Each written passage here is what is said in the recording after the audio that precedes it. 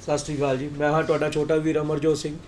ਅੱਜ ਅਸੀਂ ਤੁਹਾਡੇ ਰੂਬਰੂ ਕਰਵਾ ਰਹੇ ਹਾਂ ਗੁਰਦੀਪ ਸਿੰਘ ਗੋਸ਼ਾਈ ਨੂੰ, ਜੋ ਯੂਥ ਅਕਾਲੀ ਦਲ ਦੇ ਪ੍ਰਧਾਨ ਨੇ, ਉਹਨਾਂ ਦੀ ਦਿਲ ਦੀ ਧੜਕਣ ਹਾਂਜੀ ਸਤਿ ਸ਼੍ਰੀ ਅਕਾਲ ਭਾਜੀ। ਸਤਿ ਸ਼੍ਰੀ ਅਕਾਲ। ਪਹਿਲਾਂ ਤਾਂ ਵੈਲਕਮ ਕਰਦੇ ਹਾਂ ਜੀ ਤੁਹਾਡਾ ਆਉਣ ਤੇ। ਧੰਨਵਾਦ if you don't mind programme ਦੇ ਵਿੱਚ।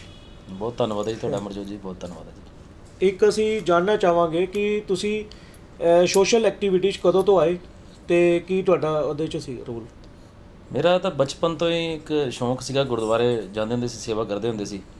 ਉੱਥੋਂ ਗੁਰਦੁਆਰੇ ਜਾਗ ਲੱਗੀ ਜਿੱਦਾਂ ਸੁਣਦੇ ਹੁੰਦੇ ਸੀ ਵੀ ਸੇਵਾ ਸਭ ਤੋਂ ਵੱਡੀ ਚੀਜ਼ ਹੈ। ਤੇ ਉੱਥੋਂ ਜਾਗ ਲੱਗਦੀ ਰਹੀ ਪਰਿਵਾਰਕ ਤੌਰ ਤੇ ਵੀ ਹਮੇਸ਼ਾ ਪ੍ਰੇਰਿਤ ਕੀਤਾ ਜਾਂਦਾ ਸੀ ਦਾਦਾ ਜੀ ਵੱਲੋਂ ਵੀ ਦਾਦੀ ਜੀ ਵੱਲੋਂ ਵੀ। ਪਿਤਾ ਜੀ ਵੱਲੋਂ ਵੀ ਤੇ ਮਦਰ ਵੱਲੋਂ ਵੀ ਸੇਵਾ ਕਰਨੀ ਬਹੁਤ ਜ਼ਰੂਰੀ ਹੁੰਦੀ ਹੈ। ਤੇ ਉੱਥੇ ਹੀ ਸ਼ੁਰੂਆਤ ਤੋਂ ਹੀ ਲੱਗਣ ਲੱਗ ਗਈ ਤੇ ਜਿਹੜਾ ਸ਼ੁਰੂਆਤੀ ਮੇਰਾ ਦੌਰ ਸੀ ਪੋਲੀਟੀਕਲ ਦਾ, ਉਦੋਂ ਬੀਬੀ ਬੁਲਾਰਾ ਜੀ ਖੜੇ ਸੀਗੇ, ਉੱਥੇ ਇੱਕ ਹਵਾ ਬਣੀ ਸੀਗੀ। ਉਸ ਉਦੋਂ ਮੈਂ ਬਹੁਤ ਛੋਟਾ ਜਿਹਾ ਹੁੰਦਾ ਸੀਗਾ, ਪਰ ਤਾਂ ਵੀ ਮੈਂ ਬੀਬੀ ਬੁਲਾਰਾ ਦੇ ਨਾਲ ਜਿੰਨਾ ਕੋਸ਼ਿਸ਼ ਸਾਈਕਲਾਂ ਤੇ ਉੱਤੇ ਛੋਟੇ ਹੁੰਦੇ ਚੱਡੀਆਂ ਲਗਾ ਕੇ ਘੁੰਮਦੇ ਹੁੰਦੇ ਸੀਗੇ, ਉੱਥੋਂ ਇਹ ਸਾਰਾ ਸ਼ੁਰੂਆਤ ਦੂਰ ਹੋਈ ਆ ਤੇ ਕਾਫੀ ਸੋਸ਼ਲ ਐਕਟੀਵਿਟੀਆਂ ਦੇ ਵਿੱਚ ਭਾਗ ਲਿਆ ਤੇ ਇਹ ਚੱਲਦੀਆਂ ਗਈਆਂ ਜੀ, ਇਹਨਾਂ ਦੀਆਂ ਗੱਲਾਂ ਚੱਲਦੀਆਂ ਰਹੀਆਂ। ਤੁਹਾਡਾ ਕੋਈ ਮੋਟਿਵ ਮੋਟਿਵ ਤਾਂ ਦੇਖੋ ਜੀ ਹਰ ਬੰਦੇ ਦਾ ਇੱਕ ਟਾਰਗੇਟ ਹੁੰਦਾ ਹਰ ਬੰਦਾ ਇੱਕ ਟਾਰਗੇਟ ਲੈ ਕੇ ਚੱਲਦਾ। ਕਈਆਂ ਦੇ ਟਾਰਗੇਟ ਲੈਸ ਹੁੰਦੇ ਜਿਨ੍ਹਾਂ ਦਾ ਟਾਰਗੇਟ ਨਹੀਂ ਹੁੰਦਾ ਉਹਨਾਂ ਨੂੰ ਰਸਤਾ ਵੀ ਨਹੀਂ ਮਿਲਦਾ। ਮੇਰਾ ਟਾਰਗੇਟ ਇਹੀ ਆ ਕਿ ਗੁਰਬਾਣੀ 'ਚ ਲਿਖਿਆ ਸੇਵਾ ਕਰਤੋ ਇਹਨੇ ਕਾਮੀ ਤਿਸ ਕੋ ਹੋਤ ਪ੍ਰਾਪਤ ਸਵਾਮੀ ਜਿਹੜਾ ਸਾਡਾ ਜੀਵਨ ਆ, ਅਸਲ ਜੀਵਨ ਦਾ ਤਾਂ ਮਨੋਰਥ ਇਹੀ ਹੈ ਕਿ ਅਸੀਂ ਆਪਣੇ ਰੱਬ ਨੂੰ ਮਿਲਣਾ ਜਿਹੜਾ ਇਨਸਾਨੀ ਜਾਮਾ ਹੀ ਹੁੰਦਾ। ਪਰ ਸੇਵਾ ਕਰਨੀ ਬੜੀ ਵੱਡੀ ਜ਼ਰੂਰੀ ਹੈ ਸਾਡੇ ਗੁਰੂਆਂ ਸਾਹਿਬ ਨੇ ਵੀ ਸੇਵਾ ਕੀਤੀ ਹੈ ਪੀਰ ਪੈਗੰਬਰਾਂ ਨੇ ਵੀ ਕੀਤੀਆਂ ਭਗਵਾਨਾਂ ਨੇ ਵੀ ਸੇਵਾ ਕਰਕੇ ਆਪਣਾ ਜੀਵਨ ਬਤੀਤ ਕੀਤਾ। ਮੇਰਾ ਇੱਕੋ ਇੱਕ ਟਾਰਗੇਟ ਹੈ ਕਿ ਮਰਨ ਤੋਂ ਪਹਿਲਾਂ ਕੋਈ ਇਹੋ ਜਿਹਾ ਕੰਮ ਕਰੀਏ ਜਿਨ੍ਹਾਂ ਸਮਾਜ ਦੇ ਵਿੱਚ ਕੁਝ ਜਾਗਰਤੀ ਆ ਸਕੇ। ਇਸ ਟਾਰਗੇਟ ਨੂੰ ਲੈ ਕੇ ਚੱਲ ਰਹੇ ਹਾਂ ਜੀ। ਤੇ ਤੁਸੀਂ ਯੂਥ ਅਕਾਲੀ ਦਲ ਵਿੱਚ ਕਦੋਂ ਆਏ? ਮੇਰਾ ਸ਼ੁਰੂਆਤੀ ਸਫ਼ਰ ਤਾਂ ਅਕਾਲੀ ਦਲ ਦੇ ਨਾਲ ਹੀ ਟੱਚ ਕਰਦਾ ਸੀਗਾ ਪਰ ਜਿਹੜਾ ਬਿਲਕੁਲ ਤਰੀਕੇ ਜੇ ਕਹੀਏ ਵੀ ਅਕਾਲੀ ਦਲ ਦੇ ਨਾਲ ਮੋਢੇ ਨਾਲ ਮੋਢਾ ਜੋੜ ਕੇ ਜਿਹੜਾ ਵਰਕਿੰਗ ਹੈ ਉਹ ਮੈਂ 2006 ਤੋਂ ਸ਼ੁਰੂ ਹੋ ਗਿਆ ਸੀ ਉਦੋਂ ਸਿੱਖ ਸਟੂਡੈਂਟ ਫੈਡਰੇਸ਼ਨ ਦੇ ਵਿੱਚ ਮੈਥੋਂ ਦੇ ਵਿੱਚ ਮੈਂ ਪ੍ਰਧਾਨ ਬਣਿਆ ਸੀ। ਅਕਾਲੀ ਦਲ ਦੇ ਨਾਲ ਟੱਚ ਸੀ ਉਦੋਂ ਕਾਫੀ ਐਕਟੀਵਿਟੀ ਦੇ ਵਿੱਚ ਧਾਰਮਿਕ ਐਕਟੀਵਿਟੀ ਵਿੱਚ ਭਾਗ ਲਿੱਤਾ ਸੀਗਾ।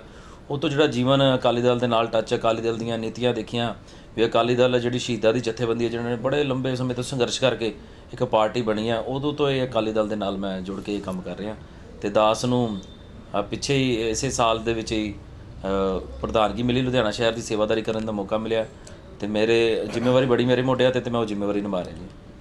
ਅੱਛਾ ਇੱਕ ਹੋਰ ਦੱਸੋ ਕਿ ਕਾਂਗਰਸ ਨੇ ਜਦੋਂ ਯੂਥ ਯੂਥ ਦੇ ਇਲੈਕਸ਼ਨ ਕਰਵਾਏ ਸੀਗੇ ਕਿ ਤੁਹਾਡੇ ਇਲੈਕਸ਼ਨ ਨਹੀਂ ਹੁੰਦੇ ਉਹਦੇ ਵਿੱਚ? ਨਹੀਂ ਮੈਂ ਤਾਂ ਸਮਝਦਾ ਕਿ ਆਪਸ ਦੇ ਵਿੱਚ ਲੜਾਈ ਤਾਂ ਹੋਣੀ ਨਹੀਂ ਚਾਹੀਦੀ। ਸਾਡਾ ਇਹ ਤਾਂ ਦੇਖਦੇ ਆ ਜਦੋਂ ਸਾਡੇ ਪ੍ਰ- ਸ- ਪ੍ਰਧਾਨ ਸਮਿਰਮੋ ਸਰਦਾਰ ਸੁਖਬੀਰ ਸਿੰਘ ਬਾਦਲ ਜੀ ਪ੍ਰਕਾਸ਼ ਸਿੰਘ ਬਾਦਲ ਸਾਹਿਬ ਹੈਗੇ ਆ ਉਹ ਦੇਖਦੇ ਆ ਵੀ ਕਿਹੜਾ ਬੰਦਾ ਵਰਕਿੰਗ ਕਰ ਰਿਹਾ ਜਿਹੜਾ ਲੰਬੇ ਸਮੇਂ ਤੋਂ ਸੰਘਰਸ਼ ਕਰ ਰਿਹਾ। ਨਾ ਤਾਂ ਮੇਰਾ ਕੋਈ ਅ, ਬਾਪ ਐਮਐਲਏ ਹੈ ਨਾ ਮੇਰਾ ਕੋਈ ਰਿਸ਼ਤੇਦਾਰ ਚ ਐਮਐਲਏ ਸੀ ਨਾ ਕੋਈ ਲੀਡਰ ਦੇ ਵਿੱਚ ਜਾਂਦਾ ਸੀਗਾ। ਤੇ ਮੈਂ ਇੱਕ ਆਪਣੇ ਸਾਰੇ ਪਰਿਵਾਰ ਦੇ ਵਿੱਚੋਂ ਇੱਕ ਸਿੰਗਲ ਪਰਸਨ ਹੈ ਜਿਹੜਾ ਇਸ ਲਾਈਨ ਦੇ ਵਿੱਚ ਆਇਆ। ਤੇ ਨਾ ਮੇਰੀ ਕਿਸੇ ਨੇ ਸਿਫਾਰਿਸ਼ ਕੀਤੀ ਹੈ। ਤੇ ਉਹਨਾਂ ਨੇ ਮੇਰਾ ਕੰਮ ਦੇਖ ਕੇ ਕੀਤਾ ਤੇ ਮੈਂ ਸਮਝਦਾ ਵੀ ਜਿਹੜੇ ਕੰਮ ਕਰਨ ਵਾਲੇ ਬੰਦੇ ਅੱਗੇ ਜ਼ਰੂਰ ਆਣਾ ਚਾਹੁੰਦੇ ਆ। ਕਈ ਵਾਰੀ ਇਲੈਕਸ਼ਨਾਂ ਦੇ ਵਿੱਚ ਕੀ ਹੁੰਦਾ ਵੋਟਾਂ ਦੇ ਵਿੱਚ ਜਿਹੜੀ ਜਿਹੜੀ ਆਪਸ ਦੇ ਵਿੱਚ ਕਲਹਿ ਕਲੇਸ਼ ਹੁੰਦਾ ਉਹ ਵੱਧ ਜਾਂਦਾ ਮੇਰੇ ਹਿਸਾਬ ਨਾਲ। ਆਪਸ 'ਚ ਇਹ ਨਹੀਂ ਹੋਣਾ ਚਾਹੀਦਾ ਚਲੋ ਇੱਕ ਪਾਰਟੀ ਬਾਜੀ ਦੇ ਉੱਤੇ ਤਾਂ ਇਲੈਕਸ਼ਨ ਹੈ ਹੀ ਜ਼ਰੂਰੀ ਹੈ ਜੀ। ਤੇ ਇੱਕ ਹੋਰ ਦੱਸੋ ਕਿ ਤੁਹਾਡੇ ਕਾਰਨ ਨਹੀਂ ਕਿਸ ਨੂੰ ਕੋਈ ਅੰਦਰ ਦਿੱਕਤ ਕਿ ਤੁਸੀਂ ਉਹਨਾਂ ਨੂੰ ਟਾਈਮ ਦਿੰਦੇ ਹੋ ਨਹੀਂ ਦੇ ਪਾਉਂਦੇ ਜਾਂ ਕੁਝ ਵੀ ਹੈ? ਜਿਵੇਂ ਪਹਿਲਾਂ ਅਹ, ਤੁਸੀਂ ਪ੍ਰੈਜ਼ੀਡੈਂਟ ਬਣਨ ਤੋਂ ਪਹਿਲਾਂ ਜੋ ਫੈਮਿਲੀ ਨੂੰ ਟਾਈਮ ਦਿੰਦੇ ਸੀਗੇ ਉਹ ਹੁਣ ਦੇ ਪਾਉਂਦੇ ਹੋ? ਨਹੀਂ, ਇਹ ਤਾਂ ਚਲੋ ਬੜੀ, ਇੱਕ ਵੱਡੀ ਤੁਸੀਂ ਗੱਲ ਕੀਤੀ ਆ ਵੀ ਫੈਮਿਲੀ ਦਾ ਟਾਈਮ ਫੈਮਿਲੀ ਨੂੰ ਟਾਈਮ ਦੇਣਾ ਤਾਂ ਬਹੁਤ ਔਖਾ ਹੈ। ਕਿਉਂਕਿ ਜਦੋਂ ਆਪਾਂ ਇੱਕ ਪਰਿਵਾਰ ਬਣ ਜਾਂਦਾ, ਇੱਕ ਸੋਸ਼ਲ ਐਕਟੀਵਿਟੀ ਦੇ ਨਾਲ ਇੱਕ ਸੋਸ਼ਲ ਪਰਿਵਾਰ ਬਣ ਜਾਂਦਾ ਸਾਰਾ, ਜਿਹੜਾ ਲੁਧਿਆਣਾ ਸ਼ਹਿਰ ਮੇਰਾ ਪਰਿਵਾਰ ਹੈ, ਤੇ ਮੇਰੀ ਜ਼ਿੰਮੇਵਾਰੀਆਂ ਬੜੀਆਂ ਵੱਧ ਗਈਆਂ ਤੇ ਮੈਨੂੰ ਜਾਣਾ ਵੀ ਪੈਂਦਾ, ਕਿਸੇ ਲਈ ਰਾਤ ਬਰਾਤੇ ਵੀ ਜਾਣਾ ਪੈਂਦਾ। ਪਰ ਮੈਂ ਇੱਕ ਗੱਲ ਦੱਸਾਂ ਵੀ ਮੈਨੂੰ ਆਪਣੇ ਪਰਿਵਾਰ 'ਚ ਬਹੁਤ ਸਪੋਰਟ ਹੈ ਚਾਹੇ ਮੇਰੀ ਮਦਰ ਸੀਗੇ, ਉਹਨਾਂ ਵੱਲੋਂ ਵੀ ਸਪੋਰਟ ਮਿਲ ਰਹੀ ਹੈ। ਚਾਹੇ ਮੇਰੀ ਵਾਈਫ ਹੈ, ਉਹਨਾਂ ਵੱਲੋਂ ਵੀ ਸਪੋਰਟ ਮਿਲ ਰਹੀ, ਮੇਰੀ ਬੇਟੀ ਵੀ ਹੈ। ਮਤਲਬ ਮੈਂ ਸਮਝਾਂਗਾ ਇੱਕ ਕਾਮਯਾਬ ਇਨਸਾਨ ਦੇ ਵਿੱਚ ਇੱਕ ਔਰਤ ਦਾ ਹੱਥ ਹੁੰਦਾ। ਤੇ ਜਿੱਥੇ ਮੇਰੇ ਮਦਰ ਦਾ, ਮੇਰੀ ਵਾਈਫ ਦਾ ਤੇ ਮੇਰੀ ਬੇਟੀ ਦਾ ਬਹੁਤ ਵੱਡਾ ਹੱਥ ਹੈ। ਉਹ ਮੈਨੂੰ ਬਹੁਤ ਸਪੋਰਟ ਕਰਦੇ ਆ ਵੀ ਮੈਨੂੰ ਕਦੇ ਵੀ ਰੋਕਦੇ ਨਹੀਂ। ਤੇ ਜੇ ਉਹ ਰੋਕਣਾ ਸ਼ੁਰੂ ਕਰ ਦੇਣ ਤੇ ਕੋਈ ਵੀ ਬੰਦਾ ਜਿਹੜਾ ਇਨਸਾਨ ਹੈ ਸੋਸ਼ਲ ਐਕਟੀਵਿਟੀ ਨਹੀਂ ਕਰ ਸਕਦਾ। ਮੈਂ ਸਾਰੀ ਕ੍ਰੈਡਿਟ ਉਹਨਾਂ ਨੂੰ ਦਿੰਦਾ ਤੇ ਮੈਂ ਹਾਂਜੀ, ਇੱਕ ਪੁੱਛਣਾ ਚਾਹ ਰਹੇ ਆਪਾਂ ਕਿ ਅਕਾਲੀ ਸਰਕਾਰ ਨੂੰ ਨਸ਼ਿਆਂ ਦੇ ਵਿੱਚ ਲਗਾਉਣ ਦੇ ਕੀ ਹੈਗਾ? ਸਾਰੇ ਉਹਨੂੰ ਖਿੱਚੀ ਆ ਰਹੇ ਆ ਕਿ ਅਕਾਲੀ ਸਰਕਾਰ ਨੇ ਨਸ਼ਾ ਲਗਾਇਆ। ਜਿਵੇਂ ਪਿੱਛੇ ਤੁਸੀਂ ਇੰਟਰਵਿਊ ਸੁਣਿਆ ਹੋਊਗਾ ਰਾਹੁਲ ਗਾਂਧੀ ਜੀ ਦਾ, ਉਹਨਾਂ ਨੇ ਕਿਹਾ ਕਿ ਪੰਜਾਬ 70% ਨਸ਼ਾ ਵਿੱਚ ਹੈ। ਇਹਦੇ ਵਿੱਚ ਤੁਸੀਂ ਕੀ ਕਹਿਣਾ ਚਾਹੋਗੇ? ਮੈਨੂੰ ਬੜੀ ਹਾਸਣੀ ਸਥਿਤੀ ਦਿਖਦੀ ਹੈ ਕਿ ਜਦੋਂ ਪੰਜਾਬ ਸਰਕਾਰ ਦੀ ਜਿਹੜੀ ਡਿਵੈਲਪਮੈਂਟ ਹੈ, ਅੱਜ ਸਿਖਰਾਂ ਤੇ ਹੈ, ਅੱਜ ਤੱਕ ਦੇ ਇਤਿਹਾਸ ਦੇ ਵਿੱਚ ਕਦੀ ਪੰਜਾਬ ਦੇ ਵਿੱਚ ਇੰਨਾ ਡਿਵੈਲਪਮੈਂਟ ਨਹੀਂ ਹੋਇਆ ਸੀ। ਅੱਜ ਸਾਰੇ ਸ਼ਹਿਰ ਦੀਆਂ ਸੜਕਾਂ ਬਣ ਚੁੱਕੀਆਂ ਸੀਵਰੇਜ ਸਿਸਟਮ ਤਕਰੀਬਨ ਕਾਫੀ ਪੈ ਚੁੱਕੇ ਆ। ਸ਼ਹਿਰ ਦੇ ਅੰਦਰ ਦੀਆਂ ਗਲੀਆਂ ਪੱਕੀਆਂ ਹੋ ਚੁੱਕੀਆਂ, ਪਿੰਡਾਂ ਦੀਆਂ ਗਲੀਆਂ ਪੱਕੀਆਂ ਹੋ ਚੁੱਕੀਆਂ। ਲਾਈਟ ਦੀ ਕਮੀ ਕਿਹਦੀ ਗੱਲ ਕਰਦੇ ਸੀ, ਲਾਈਟ ਦੀ ਕਮੀ ਸਾਰੀ ਦੂਰ ਹੋ ਚੁੱਕੀ ਹੈ। ਇਹਨਾਂ ਚੀਜ਼ਾਂ ਤੋਂ ਡਰਦੇ ਹੋਏ ਤੇ ਇਹਨਾਂ ਨੇ ਜਦੋਂ ਦੇਖਿਆ ਵੀ ਸਾਰੀਆਂ ਪਾਰਟੀਆਂ ਨੇ ਦੇਖਿਆ ਵੀ ਪੰਜਾਬ ਸਰਕਾਰ ਦਾ ਕੋਈ ਅਜੇ ਸਾਨੀ ਨਹੀਂ। ਤੇ ਉਹਨਾਂ ਨੇ ਇੱਕ ਮੁੱਦਾ ਬਣਾ ਲਿਆ ਨਸ਼ੇ ਦਾ ਉੱਤਾ ਮਾਨਯੋਗ ਰਾਹੁਲ ਗਾਂਧੀ ਜੀ ਕਾਂਗਰਸ ਦੇ ਬੜੇ ਵੱਡੇ ਲੀਡਰ ਨੇ। ਉਹਨਾਂ ਨੇ ਗੱਲ ਕੀਤੀ ਵੀ 70% ਨਸ਼ੇ 'ਚ ਪੰਜਾਬ ਦੇ ਲੋਕ। ਮੈਨੂੰ ਹੈਰਾਨਗੀ ਹੋਈ, ਮੈਂ ਇੱਕ ਉਹਨਾਂ ਦੇ ਸੀਨੀਅਰ ਲੀਡਰਸ਼ਿਪ ਸੀਗੀ, ਹੁਣ ਮੈਂ ਨਾਮ ਲੈਣਾ ਨਹੀਂ ਸੱਚ ਵਾਜਿਬ ਸਮਝਦਾ। ਮੈਂ ਉਹਨਾਂ ਨੂੰ ਇੱਕ ਦਿਨ ਬੈਠਾ ਸੀ ਪਰਸਨਲ ਬੈਠਾ ਸੀ, ਮੈਂ ਉਹਨਾਂ ਨੂੰ ਪੁੱਛਿਆ, ਮੈਂ ਕਿਹਾ ਤੁਹਾਡੇ ਯੂਥ ਦੀ ਭਰਤੀ ਕਿੰਨੀ ਹੈ? ਕਹਿੰਦੇ 3 ਲੱਖ ਦੇ ਕਰੀਬ ਹੈਗੀ ਹੈ। ਮੈਂ ਕਿਹਾ ਜੇ 3 ਲੱਖ ਦੇ ਕਰੀਬ ਹੈ, ਫਿਰ 2 ਲੱਖ 10 ਹਜ਼ਾਰ ਤੁਹਾਡਾ ਨਸ਼ੇੜੀ ਹੋਏਗਾ। ਕਹਿੰਦੇ, ਨਹੀਂ, ਸਾਡੇ ਕੋਲ ਤਾਂ ਕੋਈ ਨਸ਼ੇੜੀ ਵਾਲੇ ਨਹੀਂ। ਮੈਨੂੰ ਇਹ ਸਮਝ ਨਹੀਂ ਆਉਂਦੀ।